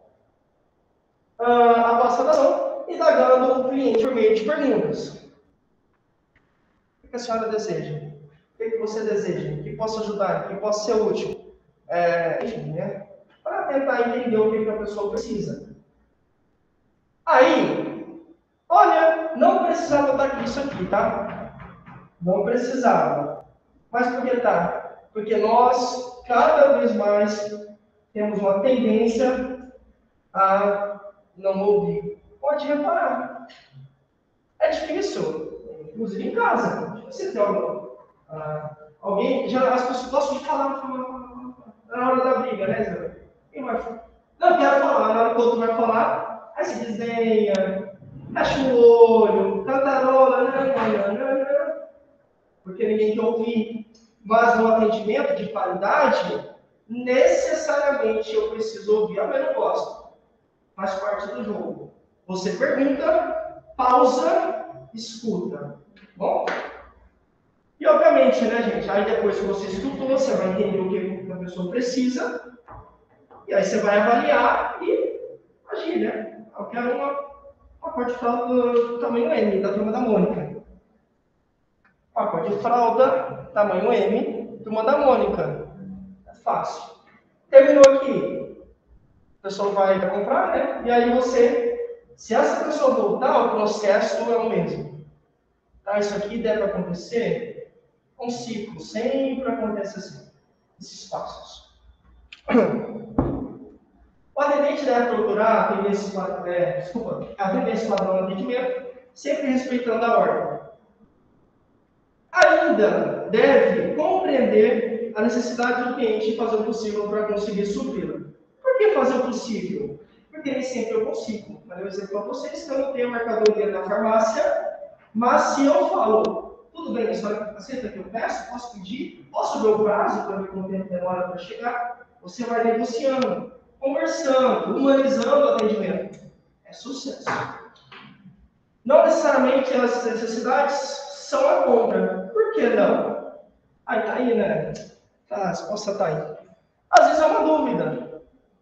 Nem sempre o cliente vai à farmácia para comprar. Às vezes ele quer perguntar: Olha, você vende o anticoncepcional X? Vendo. A senhora precisa? Não. É que eu mudei para cá recentemente e aí, quando acabar, a gente vai vir aqui pegar. Uma dúvida. E essa dúvida também faz parte do atendimento, tá? Porque se essa pessoa nunca foi lá, vai perguntar, você já é ríspida, grosseira, ou grosseiro, seja, já é. Vai procurar outra farmácia. Porque a experiência não foi boa. As pessoas procuram por experiência. Quem conhece a frase do Jones? As pessoas não sabe o que querem é para você mostrar a elas. Quem vocês acham realmente que a humanidade sabia que queria um iPhone? Quando o Jobs inventou o iPhone? Não, porque era sempre um tijolão. Um tijolão que tinha teclas. Aí o cara vai e apresenta um celular que tem um botão só, caso iPhone, né? A humanidade não sabia que queria aquilo. Quando mostrou, passou a desejar. Aqui é a mesma coisa. Você, quando for atender alguém, entenda que ali você tem uma oportunidade de ganhar aquela pessoa, cativá-la, para fidelizar. E ela vai voltar ali mais vezes, isso é bom para você, é bom para a farmácia, né? O atendente, quando vai tudo bem na vida dele, ele tem que estar exposto. Mas, se brigar com o namorado, aí não, ele não precisa estar disposto. Não. Claramente, nós precisamos sempre estar dispostos para atender com simpatia. Faz parte, gente. Entendam? É, quando você for sair para trabalho, pelo trabalho, deixa os problemas em casa. Né? Ou sai do, do trabalho e. Então, você acha que o problema do trabalho na casa, na, na esposa? Acho que não, né?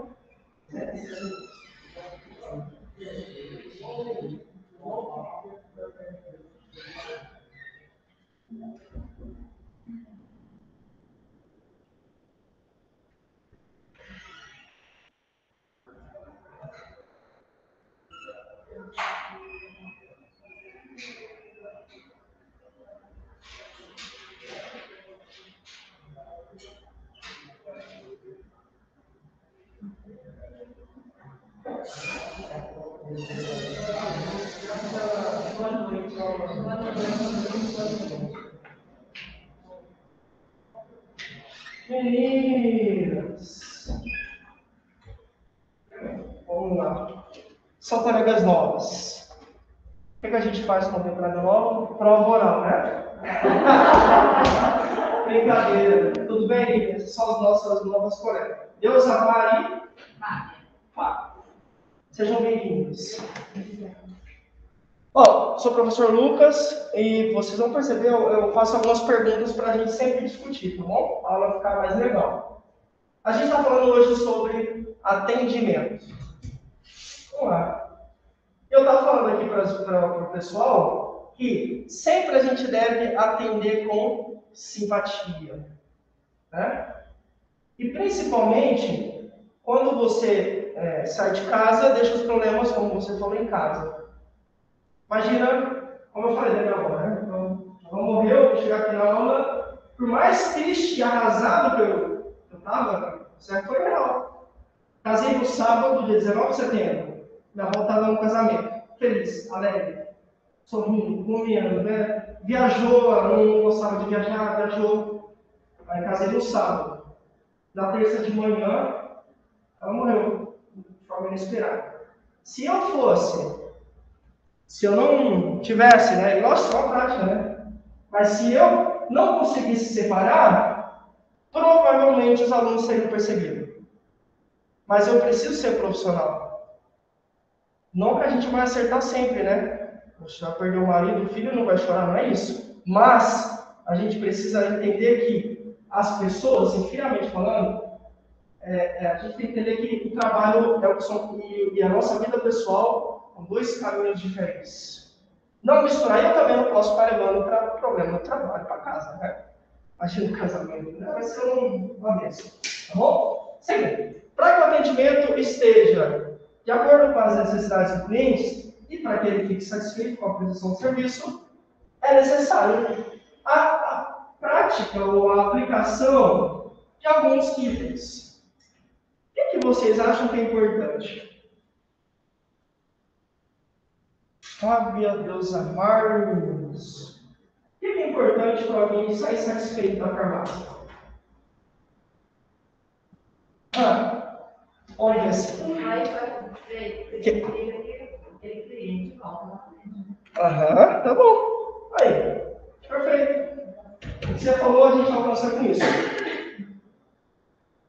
Ao cliente, ou saudar, como a gente chamou naquele slide, seja educada e utilize um tom de voz agradável. Bom, vejam se tem diferença. Eu vou atender você. Bom dia. Bom dia. Bom dia! Bom dia. Tudo bem? Percebe? O que, que eu mudei? A mesma frase, mas Passa sensações diferentes. Passa. Um parece que eu sou louco.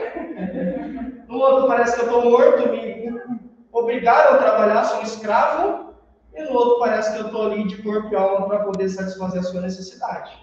Tom, bom? Mesma frase, experiências diferentes para o cliente e a gente vem de experiência também. Tá bom? Ah, olha só, olha essa perguntinha. O Omo vende sabão em pó? A marca Omo. O que, que o Omo vende? Inicialmente, né? Sabão em pó. As propagandas da Omo têm a ver com sabão em pó? Diretamente? Deixa o seu filho sujar. Da limpeza a gente cuida. Olha só. Olha só. O que, que esses caras estão vendendo? Experiência. O seu filho pode brincar, para ele é importante. Deixa o menino brincar se sujar, porque a gente vai cuidar da sujeira. Aqui é a mesma coisa. Se eu tendo uma boa experiência para o cliente, automaticamente ele vai querer, cada vez mais falou, vai querer voltar, vai querer voltar, não adianta. Vai querer porque foi bem atendido. Às vezes eu tenho o mesmo anador na Raia, na São Paulo e na Unicei. O mesmo anador. Mas o que me faz ir em uma e não na outra a experiência. O produto é o mesmo. A qualidade do produto é a mesma. É a mesma indústria. Mas a experiência que eu tive me mudou, me marcou de alguma forma, positiva ou negativamente falando. Comunique-se com clareza. O senhor não vai precisar. Né? O senhor não vai. Não está claro, percebe? Esse, e isso às vezes você pega uma pessoa que é paciente, um cliente que é paciente. Cara que entende que talvez você está nervosa, nervoso que é o primeiro dia, a experiência. Mas tem gente que não. Então, vocês devem treinar. Como é que a gente treina? Estou tentando treinar mais, talvez vai para ontem. Mas como é que você treina falar em público ou conversar com outra pessoa? Tem várias formas. Quem já usou alguma forma? Eu já usei, uso até hoje, na verdade. Espelho. Espelho, um Álvaro. O que, que eu faço no espelho? Posso ir falando, posso me gravar. Quem já ouviu falar de Power Pose? Quem já ouviu falar? Fiquem de pé. Então vamos fazer já que não ouviram. Fiquem de pé, por favor. Power Pose é você fazer uma pose de poder.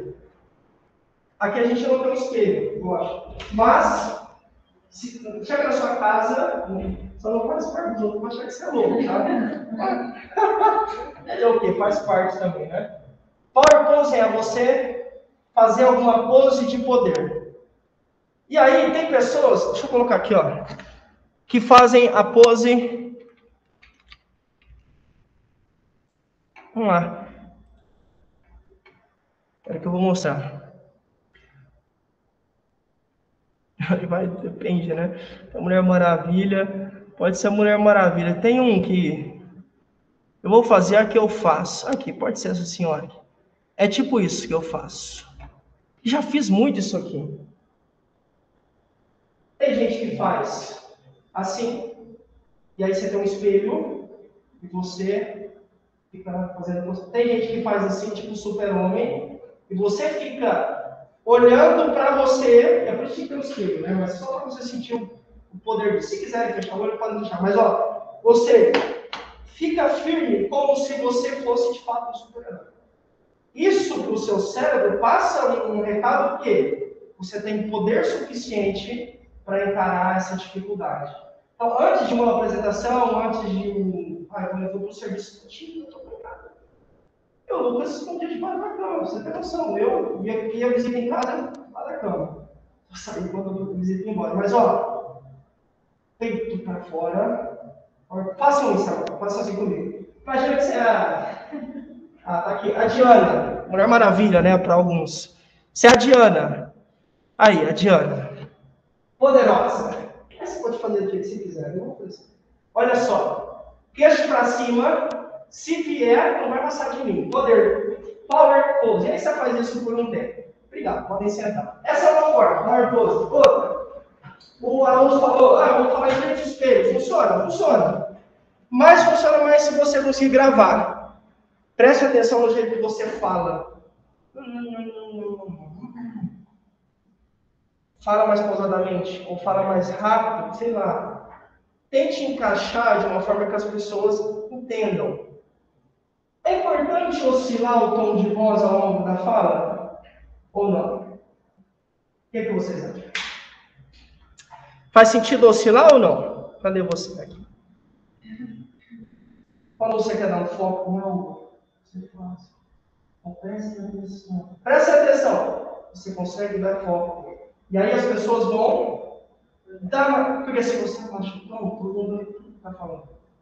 Eles vão prestar mais atenção. Então tem técnica, sim, faz sentido. Então treinem, comunique-se com clareza, né? Então vamos utilizar termos técnicos. Eu, olha, dona Fábia, estou aqui atendendo o princípio ativo deste medicamento está de acordo com a farmacocinética que vai falar da sua hipertensão arterial. Isso que falando de nada. Linguagem técnica. Não precisa. Sejam simples. O simples vale mais do que o complexo, muitas vezes. Então, eu não posso dificultar a minha fala para querer mostrar que eu sei alguma coisa. Porque comunicação não é o quanto eu sei, é o quanto o outro entende do que eu passo. Comunicar bem não é falar bonito, conjugar certinho, não é isso. É também, é lógico. Mas o foco principal é: estão entendendo o que estou dizendo? Estão então me comunicando bem ou não? Tá bom? Então, não, usem, tá? Não é, evitem termos desnecessários. Falem sempre com linguagem objetiva, você não vai fazer uma redação, né? não uma entrevista, né? Sejam agradáveis, gentis. Os clientes que vão frequentemente na farmácia, se der, se for possível, cumprimentem sempre pelo nome, tá? Eles gostam disso. A gente gosta, né? Hoje, estava procurando uma casa para mudar. Aí, dar uma mensagem para a moça lá da imobiliária. Ela me chamou pelo nome. Fazia tempo que isso aconteceu. Eu falei, caramba, ela me chamou. É lógico, ela escreveu mandando contato, né? Mas para mim foi uma experiência legal. Porque eu falei com ela pela segunda vez e ela já me chamou pelo nome. Eu gostei. Cara, algum tratamento diferenciado, né? Bom dia, moço. Bom dia, moça. Não, não. Ela me chamou pelo nome, eu gostei. Então, até aqui a gente está conversando com ela. Tá bom? É aprimorar, né? Ah, em situações que o cliente não pode ser atendido no momento, deve-se cumprimentá-lo e pedir que aguarde um momento para ser atendido. Quem já pegou uma fila indiana numa farmácia, uma fila gigantesca. Você fica assim, você fala, nossa, está contando a vida para a atendente, a atendente não corta ela, assim, corta entre aspas, né? Então, encerra o atendimento. Eu estou aqui atrás, com meu filho no colo, há 20 minutos, o menino pesa 15 quilos. E a bendita da moça não vai e a cliente não encerra o atendimento. Ela poderia, para me dar uma experiência bacana, senhor, o senhor já vai ser atendido, tá? Só terminando o atendimento com ela. Assim que possível, o senhor vai ser atendido, o atendente está chegando. Você notifica para que o, o, cliente que está na fila entenda, está chegando a minha vez. Estão me observando, perceberam que estou aqui, e deram uma atenção. A atenção maior vai ser dada for pedido de fato, é importante. Olha aqui. Só pode dar licença, por favor? Aguarde um momentinho, por favor. Olha, obrigado. Pode sempre. Palavras mágicas, expressões mágicas, que estão raras hoje em dia, né? Com certeza. Bom, agora, olha que legal. A gente falou algumas coisas do que fazer, né? Mas se você fizer algo que você não deve fazer, você vai gerar sentimentos negativos. O que, é que a gente não deve fazer? O que vocês acham? Exemplo, né? Vamos lá. Ó, faz sentido? Demonstrar irritação e cansaço. Vou dar uma aula para vocês, tá? Então, é isso aí. Pode a pose de cara. Olha, tá aí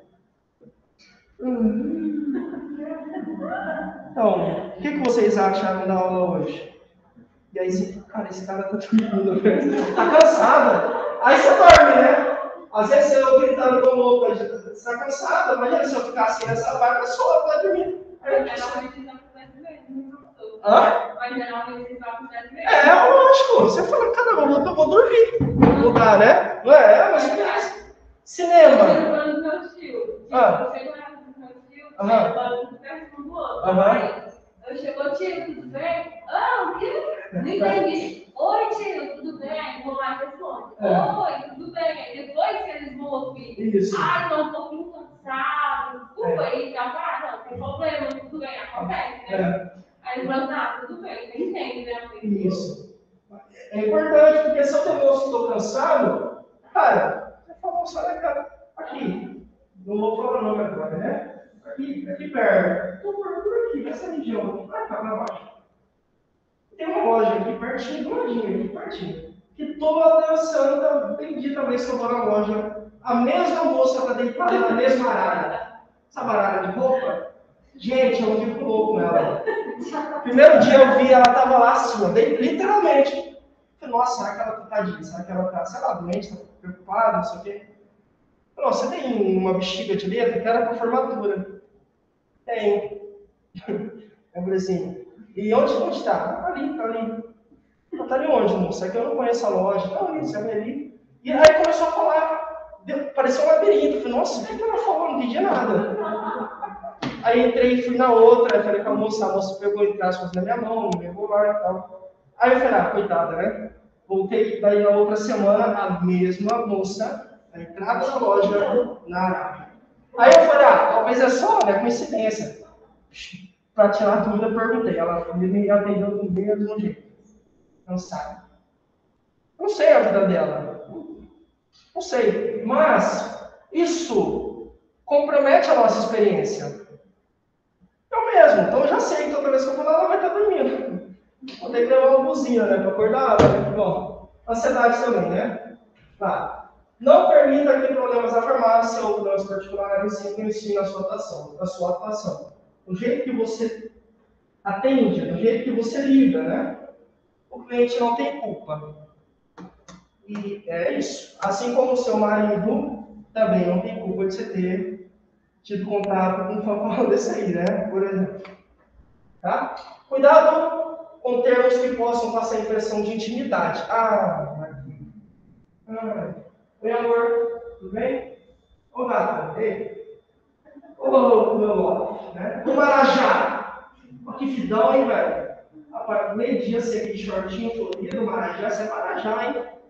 Aqui.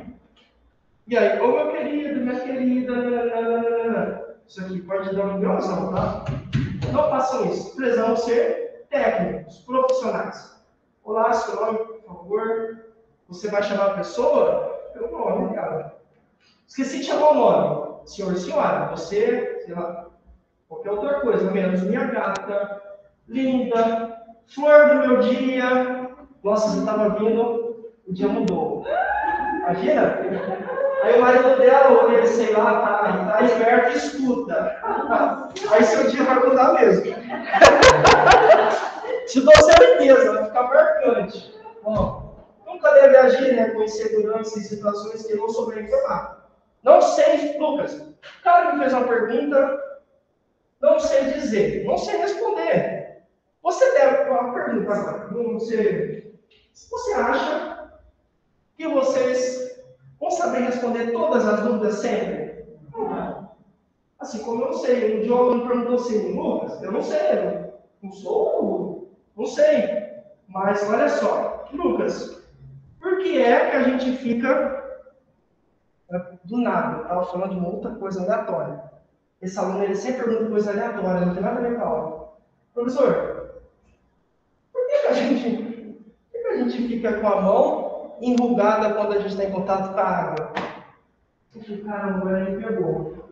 Olha, eu já sabe um pouco, mas eu não posso falar para ele na minha cabeça. Que aí, aí eu falei, olha, eu sei, mas eu posso te responder na próxima aula? Pode. Fui lá, pesquisei, aí tem a resposta. Então aqui, talvez você também seja interrogada, interrogado, você não vai saber responder. O que, é que você faz diante disso? Não sei responder. A Deise me perguntou um negócio, travei. O que, é que eu faço? Eu atendente. O que, é que vocês acham? Tem no mínimo duas saídas. Três, na verdade. O que, é que eu posso fazer? No mínimo três. Um, perguntar para o colega, né? Ô, oh, Deise, a senhora e a Helena perguntou, não soube responder. Aí a Deise é mais velha de casa, entende mais. Pergunto para o meu colega do balcão. A Deise não soube. No meu chefe, o Haroldo, farmacêutico. Haroldo, tem uma senhora lá perguntando um negócio que eu não sei responder, cara. Você pode ir lá esclarecer a dúvida dela? Aí o Haroldo, que é farmacêutico, teoricamente entende muito mais do que a gente nessa área, o cara vai lá e explica. Ou não tem companheiro, deu azar de ser no horário do almoço, não tem companheira no balcão, meu supervisor não se encontra, o que eu posso fazer? Qualquer um. Não vale doutor Google, tá? o cara vai dar um Google, professor, não façam isso. Olha, é, Posso, deixa seu contato, eu posso verificar e te respondo depois, eu entro em contato com você. Assim que o meu chefe chegar, sei lá. Vejam, eu mostrei para a pessoa que é importante orientar e que eu não quis passar a informação errada. E a aluna pergunta, professor, tem, na verdade tem cinco tipos de diabetes? Tá muito louco, não são três. Dois especificamente um terceiro que é gestacional. Mas ela falou cinco, eu falei, ah, tem, ela tem perguntado isso, e aí tem mesmo. Só que esses cinco tipos não são consenso. Não é todo médico que, e profissional da saúde considera cinco. Por isso que a gente não fala que são só dois tipos e três talvez seja gestacional. Então, e aí ela ficou muito feliz que eu falava. Depois eu posso responder. Você foi em casa, pesquisei, nananã, respondi, está satisfeita. Então você não precisa saber tudo, deve procurar saber, né? o máximo que você conseguir. Mas vez ou outra vou empurrar você, está tudo bem, faz parte do jogo. Mas você não pode ficar passiva. Não, olha, eu não sei agora, mas eu vou procurar informação e passo para você. Mais um, para a gente fechar. Nunca deverá prometer, olha aqui, algo que não consegue cumprir. Prazos e mercadorias. Quanto tempo demora para chegar esse aparelho, a bombinha. Não, hoje à tarde está aqui. Aí você sabe que pelo sistema, o seu fornecedor só consegue entregar em uma semana. Mas eu, Lucas, quero garantir a venda. Cometa a falha de. Perdão, de prometer. À tarde a minha cliente vai voltar, a minha vai voltar. Quando ela chegar, e eu não tenho a combine, porque é uma semana. O que, que vai acontecer com a Fábio? Vocês acham? Ela voltou, Porque eu dei a minha palavra que teria com vinho. E aí? Experiência péssima. Vou passar por mentiroso. A farmácia vai passar por charlatão. Charlatão, por aí vai. Então, não. Sempre devemos cumprir é, prazos, né, gente? Então, não prometa. Olha, o fornecedor garantiu uma semana. Daqui uma semana a senhora pode vir que está aqui. Não queira inovar, tá bom? Bom, é isso. Semana que vem a gente continua daqui e vai fazer os testes aqui, né? Já vou dar uma dica. Eu vou, eu vou colocar isso aqui no grupo. Estudem, tá? Semana que vem a gente vai fazer um sorteio. Então, sei lá, o Haroldo pode cair para o silencioso. Eu vou ser o cliente, né? E você vai sentar aqui e vai me atender. Vou estar em casa, vou faltar. De casa também vai ter sorteio. então você vai participar. Todo mundo colocou o no grupo. Alguém não colocou, a não ser as meninas novas. Não? Todo mundo colocou? Quem não colocou, coloque, por favor. Aí eu dar presença para você. Legal, gente. Tchau. Tchau, obrigado. Tchau, tchau. Tá? E aí, tudo bem? Claro, claro. Você pode anotar o nome, por favor? Aí você me o oi, te manda o link do. É 16 9 93 27 93 Tchau, obrigado. 93 27 Tchau. 4739. Isso, 93 Isso, Lucas. Aí eu te mando agora já o link do grupo. Quer ver, ó? Espera que eu já te mando. Pode, pode mandar um oi. Uhum. Eu já te mando o link, você clica e já participa da aula. Que nome diferente o seu? Deus, é Deus Amar? Deus Amar. Que legal, diferente. Você mandou um oi? Quer ver, ó? Eu não anotei. Não, apareceu. É. Não, que estranho. Cadê o número seu? 9327 4739. É para mandar 96, repete. No grupo, pode mandar no grupo, por favor. 9327 327 4739. 4739. Cheguei, aham. Isso, isso. Só mandar um, eu já te mando o link pra gente chegar. Obrigada. Imagina, você mandou, né? Isso. Aqui, ó. Aí eu preciso. Show de bola. Obrigado. Obrigado você até semana que vem. Obrigado. Eu só vou deixar minha casa. Ah, ah, é? Então vamos lá, deixa eu. Oi. Peraí. Deixa eu adicionar. Ah lá. Deixa eu adicionar vocês então. Tá. Vamos lá. Meu é 9. Aí você vai me ligar para falar? 981. Uhum. 24.